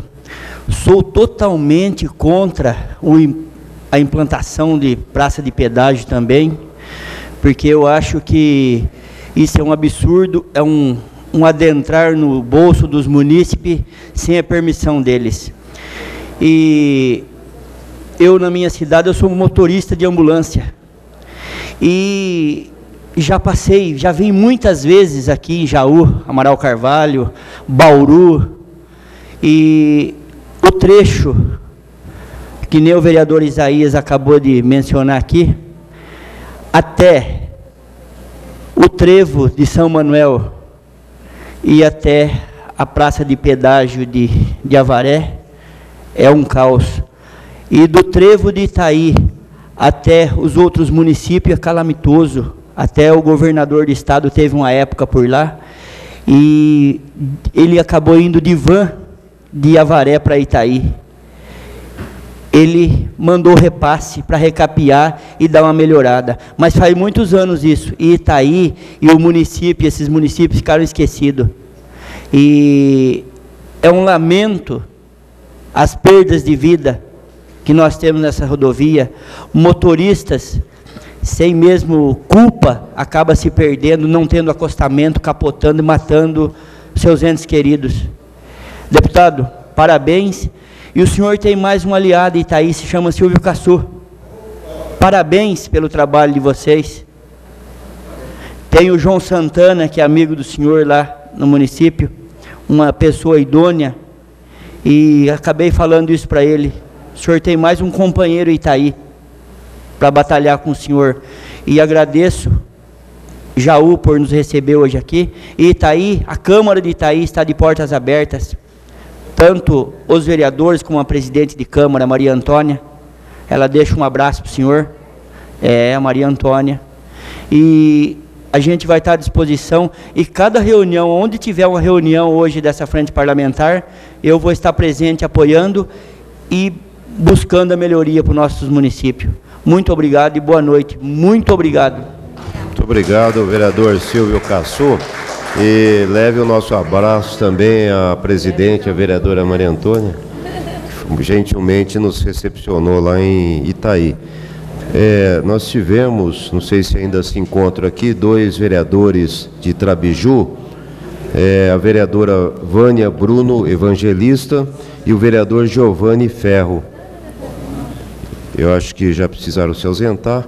Então, com isso, é, nós tivemos 22 intervenções. Numa reunião altamente representativa, 22 pessoas vieram à tribuna, se pronunciaram, trazendo sugestões. E eu anotei aqui algumas propostas. Eu vou encaminhá-las da seguinte maneira: eu vou lendo uma a uma. Se eventualmente, quando eu ler a proposta, houver alguma discordância, eu peço que alguém levante a mão, seria um destaque, e aí nós faríamos uma análise do problema. Se não houver nenhum destaque, nós vamos aprovando uma a uma. Pode ser? Então, a primeira proposta seria nós recuperarmos as gravações feitas pelas TVs câmaras, por, por onde nós passamos, e já passamos por várias câmaras municipais com a frente parlamentar, e também informações que foram divulgadas na imprensa local e regional. Isso é fundamental para que a gente possa documentar todo esse trabalho nos anais da Assembleia e para que a própria TV Assembleia possa incrementar o seu papel na discussão, uma vez que ela atinge todo o Estado de São Paulo. Há alguma discordância? Então, aprovado, o que significa cada um na respectivo município, Câmara Municipal, tente nos ajudar a levantar esse material gravado ou junto às rádios ou jornais. Segundo, é, buscar em cada uma das câmaras municipais e também junto ao executivo de cada município é, iniciativas que foram tomadas é, referentes à SP 255. Às vezes nós temos é, uma moção vinda de um, dois, três, ou do conjunto de vereadores que compõem uma Câmara Municipal, ou mesmo iniciativa do prefeito, do vice-prefeito. Nós precisamos dessas informações. Então, por exemplo, se vão aprovar uma moção na segunda-feira lá em Itaí, é fundamental que a gente receba, além do encaminhamento que se faz ao governador, ao presidente da Assembleia. Tudo bem, sem problema? Terceiro, todos receberam aqui cópia da, do requerimento para a realização de audiência pública na Assembleia Legislativa, com participação da Secretaria Estadual de Logística e Transporte, também do Departamento de Estradas de Rodagem e Artesp. Tudo indica que será votada na próxima terça-feira, às 15 horas. Qual é a proposta? Que cada um de um determinado partido entre em contato com os respectivos deputados, cujos nomes foram citados aqui que compõem a Comissão de Transportes, para ver se eles concordam em aprovar a realização dessa audiência pública e que a frente parlamentar, uma vez aprovada essa audiência, priorize essa atividade na Assembleia com grande participação de prefeitos, vice-prefeitos, vereadoras, vereadores, lideranças da sociedade civil em toda a extensão da rodovia SP 255. Sem problemas? Outra questão. É, nós ficamos nos perguntando se era possível ter alguma outra iniciativa aqui na região de vocês que não dependesse da frente parlamentar. Qual é aquela que seria interessante, até porque o tempo está correndo? É pedir formalmente que se faça uma audiência pública. Né? É, não é razoável que a Assembleia busque quebrar esse isolamento, tenha acesso a informações enquanto vocês não têm acesso ao que está de fato acontecendo e tampouco prefeitos, vereadores, lideranças são chamadas a opinar sobre a concessão que, pela informação que recebemos, eles estão priorizando agora o lote D e o próximo lote é o de vocês. Foi dito aqui, todo mundo recebeu cópia. Então, se não fizer isso rapidamente, o lote C vai ser desencadeado e aí vai ficando cada vez mais difícil qualquer modificação. Vereador Armando, gostaria de fazer uma sugestão? É. Eu, eu, quando eu pedi para o vereador Isaías fazer a sugestão, era do fazer o sentido contrário, para que toda a, o maior número de pessoas das cidades que estão envolvidas aqui da, na SP 255, o maior número de pessoas possíveis tivessem conhecimento disso. Porque o que, o que, o que na minha cabeça, eu imagino o seguinte, que nós estamos fazendo um trabalho, mas a população ainda não tem um conhecimento é, suficiente da real importância desse nosso trabalho. Então, por esse motivo é que eu fiz a sugestão que fossem encaminhadas as nossas propostas é, para clubes de serviço, maçonaria, entidades, as próprias câmaras municipais, a imprensa escrita, falada, é, para que todos, a maioria da população tivesse ciência realmente, tomasse consciência realmente da importância desse da nossa rodovia, a importância desse nosso trabalho e a dificuldade que a gente encontra em receber esse benefício. Então, é nesse sentido a minha sugestão. É, nesse item aqui, eu fiz é, três anotações. Uma, é, vocês cobrarem de fato, aí vocês podem achar a melhor maneira de fazer isso, é, que haja uma audiência pública pela Artesp, que não se confunde com as iniciativas da Assembleia. Isso é obrigatório, faz parte do processo de concessão e pode ou não ser feito na região de vocês. Em outro lugar vai ser feito, como de fato já pelo menos três foram feitas em outros locais. E aí eles enfrentaram uma resistência das lideranças locais e é provável que não estejam fazendo aqui, porque já antevêm uma reação da parte de vocês. Mas se a intenção é fazer a concessão, é preciso que eles ouçam as lideranças formais e da comunidade. E outro ponto que eu anotei aqui é exatamente esse. Vocês precisam quebrar o isolamento chegando na mídia, nos formadores de opinião, e eu pergunto se nós estaríamos autorizados a, tendo uma cópia desse documento, encaminhar esta gravação para o governador, para o secretário, para o diretor do, do, do Departamento de Estradas de Rodagem e também para a Artesp, porque se eles não vieram, pelo menos que nós possamos encaminhar esta gravação para eles. Não sei se haveria alguma objeção eh, das senhoras e dos senhores. Deputado, que eu, pelo que eu entendo, acho que é por lei, não é? Uma, não existe uma lei que tem que ter audiência pública em cada município que vai ser abrangido, eh, que vai pegar esse pedágio. Não é uma lei que existe. É, tem, tem uma, tem, que... Isso é disciplinado, mas não há, até onde eu entendo, a obrigatoriedade que seja, por exemplo, aqui é, em Jaú ou em Barra Bonita, num trecho que vai ser objeto da Porque, concessão. Pelo que me informaram, quando foi feito aqui a, a a terceira faixa aqui nessa na SP, foi feita audiências públicas em todos os municípios que foram abrangidos por essa por essa, por essa terceira faixa, que aí foi então foi divulgado para a população, para todos poderem participar. Por isso que eu bato nessa tecla de que talvez está faltando essa parte da audiência pública nos municípios que vão ser abrangidos pelo pedágio. É, eu não quero interferir numa decisão que cabe a vocês, mas eu acho que falta um ator nessa história aqui, se chama Ministério Público Estadual. Quer dizer, eu penso que vocês poderiam acionar é, promotores da região é, para que, de fato, haja uma audiência pública, porque senão vocês não vão ter a mínima informação sobre as decisões que estão sendo tomadas, a localização das praças de pedágio e, e outros que decorrem dessa decisão. Mas isso é uma coisa que só vocês poderiam decidir aqui na região. Como garantir a realização de uma audiência pública no processo de concessão. Ok? Mas pergunto, esse material gravado poderia ser encaminhado aos órgãos do governo ou vocês têm alguma restrição?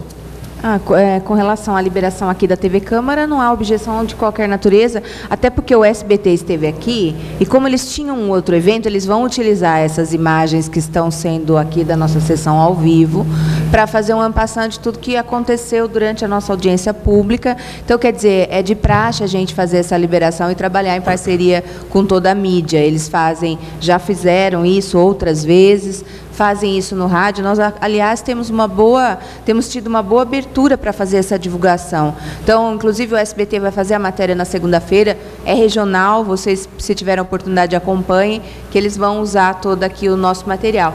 E então, dessa forma, autorizado está quem quiser esse material, a gente disponibiliza no canal do YouTube, né, Carlinhos? Ele fica disponibilizado, acho que só baixar é, no caso, para quem quiser das câmaras. E o envio para o governo do Estado, claro, está liberado de qualquer forma que for necessário e possível. Muito bem. Outra questão é anotada.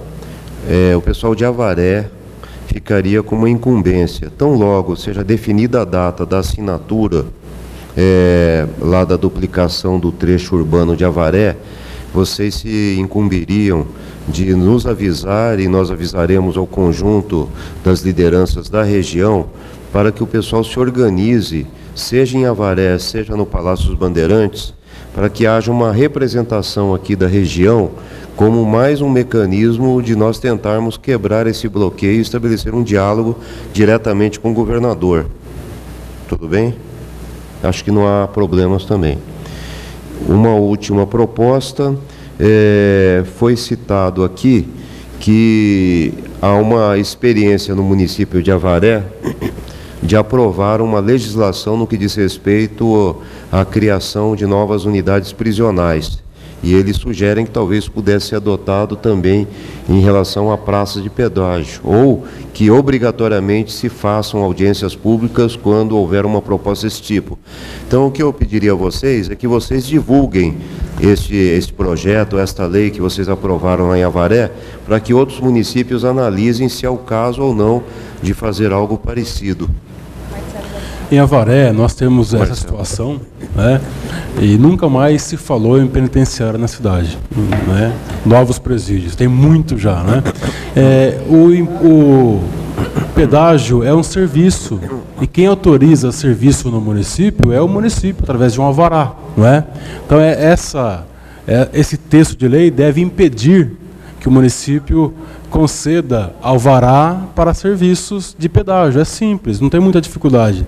O que é um obstáculo é, para é, instalar uma praça de pedágio em Jaú. Agora, em relação à audiência pública, ela é um critério formal das leis que regem a concessão e a PPP, não é? sem a qual você não tem a, a democracia participativa. As pessoas, as pessoas que têm interesse não participariam do processo. Isso inviabiliza a concessão.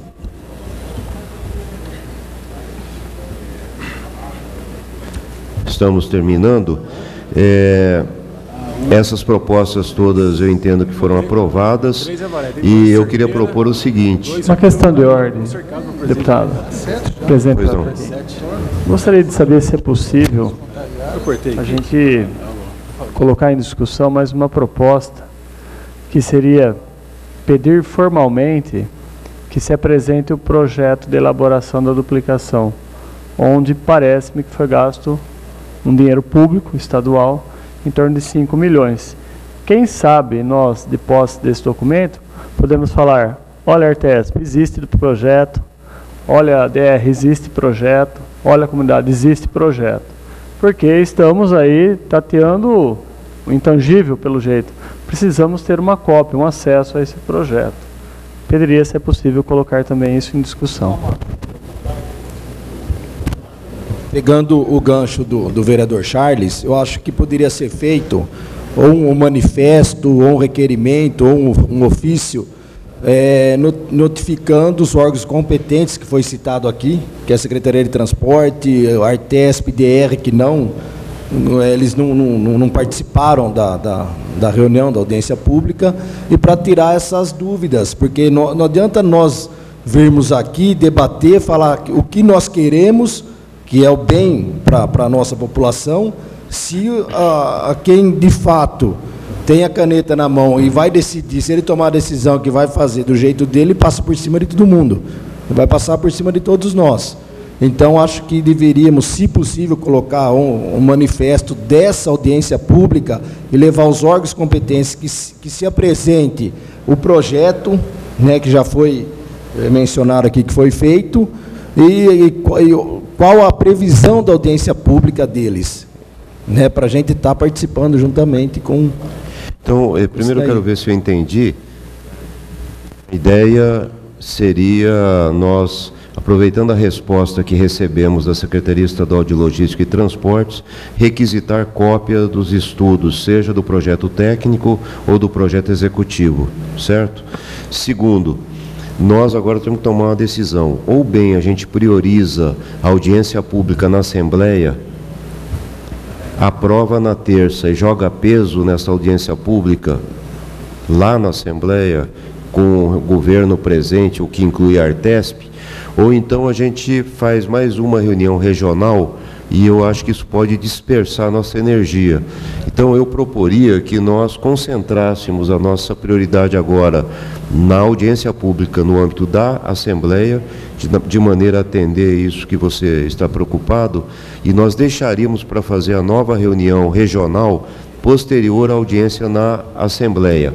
E há uma demanda vinda de Itaí que a próxima reunião, ao invés de ser em São Manuel, que gentilmente nos ofereceu a cidade para realizarmos lá, que nós façamos do outro lado para que inclusive o pessoal deste lado possa ir ou a Itaí, Itaporanga, Taquarituba, é, como fizemos agora recentemente em Itaí, vocês poderiam sugerir uma outra cidade próxima, o pessoal conhecer a situação daquele trecho e retribuir a gentileza deles que vieram aqui, para o pessoal daqui ir até lá e conhecer a situação é, que fica do outro lado da Raposo Tavares. Pode ser? Então, qual é a proposta aqui? Nós vamos priorizar agora a audiência na Assembleia, aprovando na terça na Comissão de Transportes, e deixaríamos para fazer a reunião na região lá de Itaí, Itaquarituba, Itaporanga, posterior à audiência na Assembleia. E na audiência da Assembleia, nós precisamos jogar pesado para que o governo do Estado compareça e o maior número possível de deputados, sejam eles membros ou não da frente parlamentar. Barreto. Deputado, é para chamar a atenção, é, só para você ter uma ideia, alguns vereadores é, e a população fique bem atenta é, aos, aos cofres públicos de Avaré, o que recolhe mais ISS para a prefeitura é o pedágio de Avaré. Então, ele é atraente para os cofres públicos. Então, para que a, os vereadores fiquem é, atentos a isso e a população. Porque hoje o que nós temos mais de arrecadação é, aos cofres públicos de Avaré chama-se o pedágio. Então pega um prefeito, às vezes, que não está nem aí com a população, vendo pena, e vai lá e instala porque vai entrar dinheiro nos cofres públicos e a população que paga o preço. Então é bom que fique atento a isso, de forma como ele é atraente, algum prefeito se interesse e a população, então os vereadores e a população fiquem muito atentos a isso.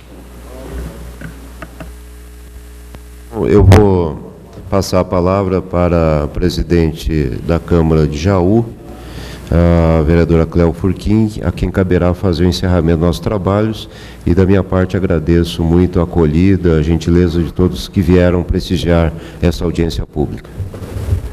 A título de informação, a gente estava conversando aqui agora há pouco, a respeito do projeto executivo, toda vez que há um projeto é, sendo elaborado pelo governo do Estado, ou já foi feito, como no caso das concessões, nós podemos pedi-lo via é, Lei de Acesso à Informação, que é a 2.527 de 2011. Então, acho que essa sugestão ficaria dessa forma. O Carlos, então, faria através da frente parlamentar e nós faríamos cada um via sua Câmara, para que a gente reforce, então, e traga né, esse projeto executivo, porque eles são obrigados a nos fornecer desde que não tenha nenhum caráter de sigilo ou qualquer, qualquer outra forma.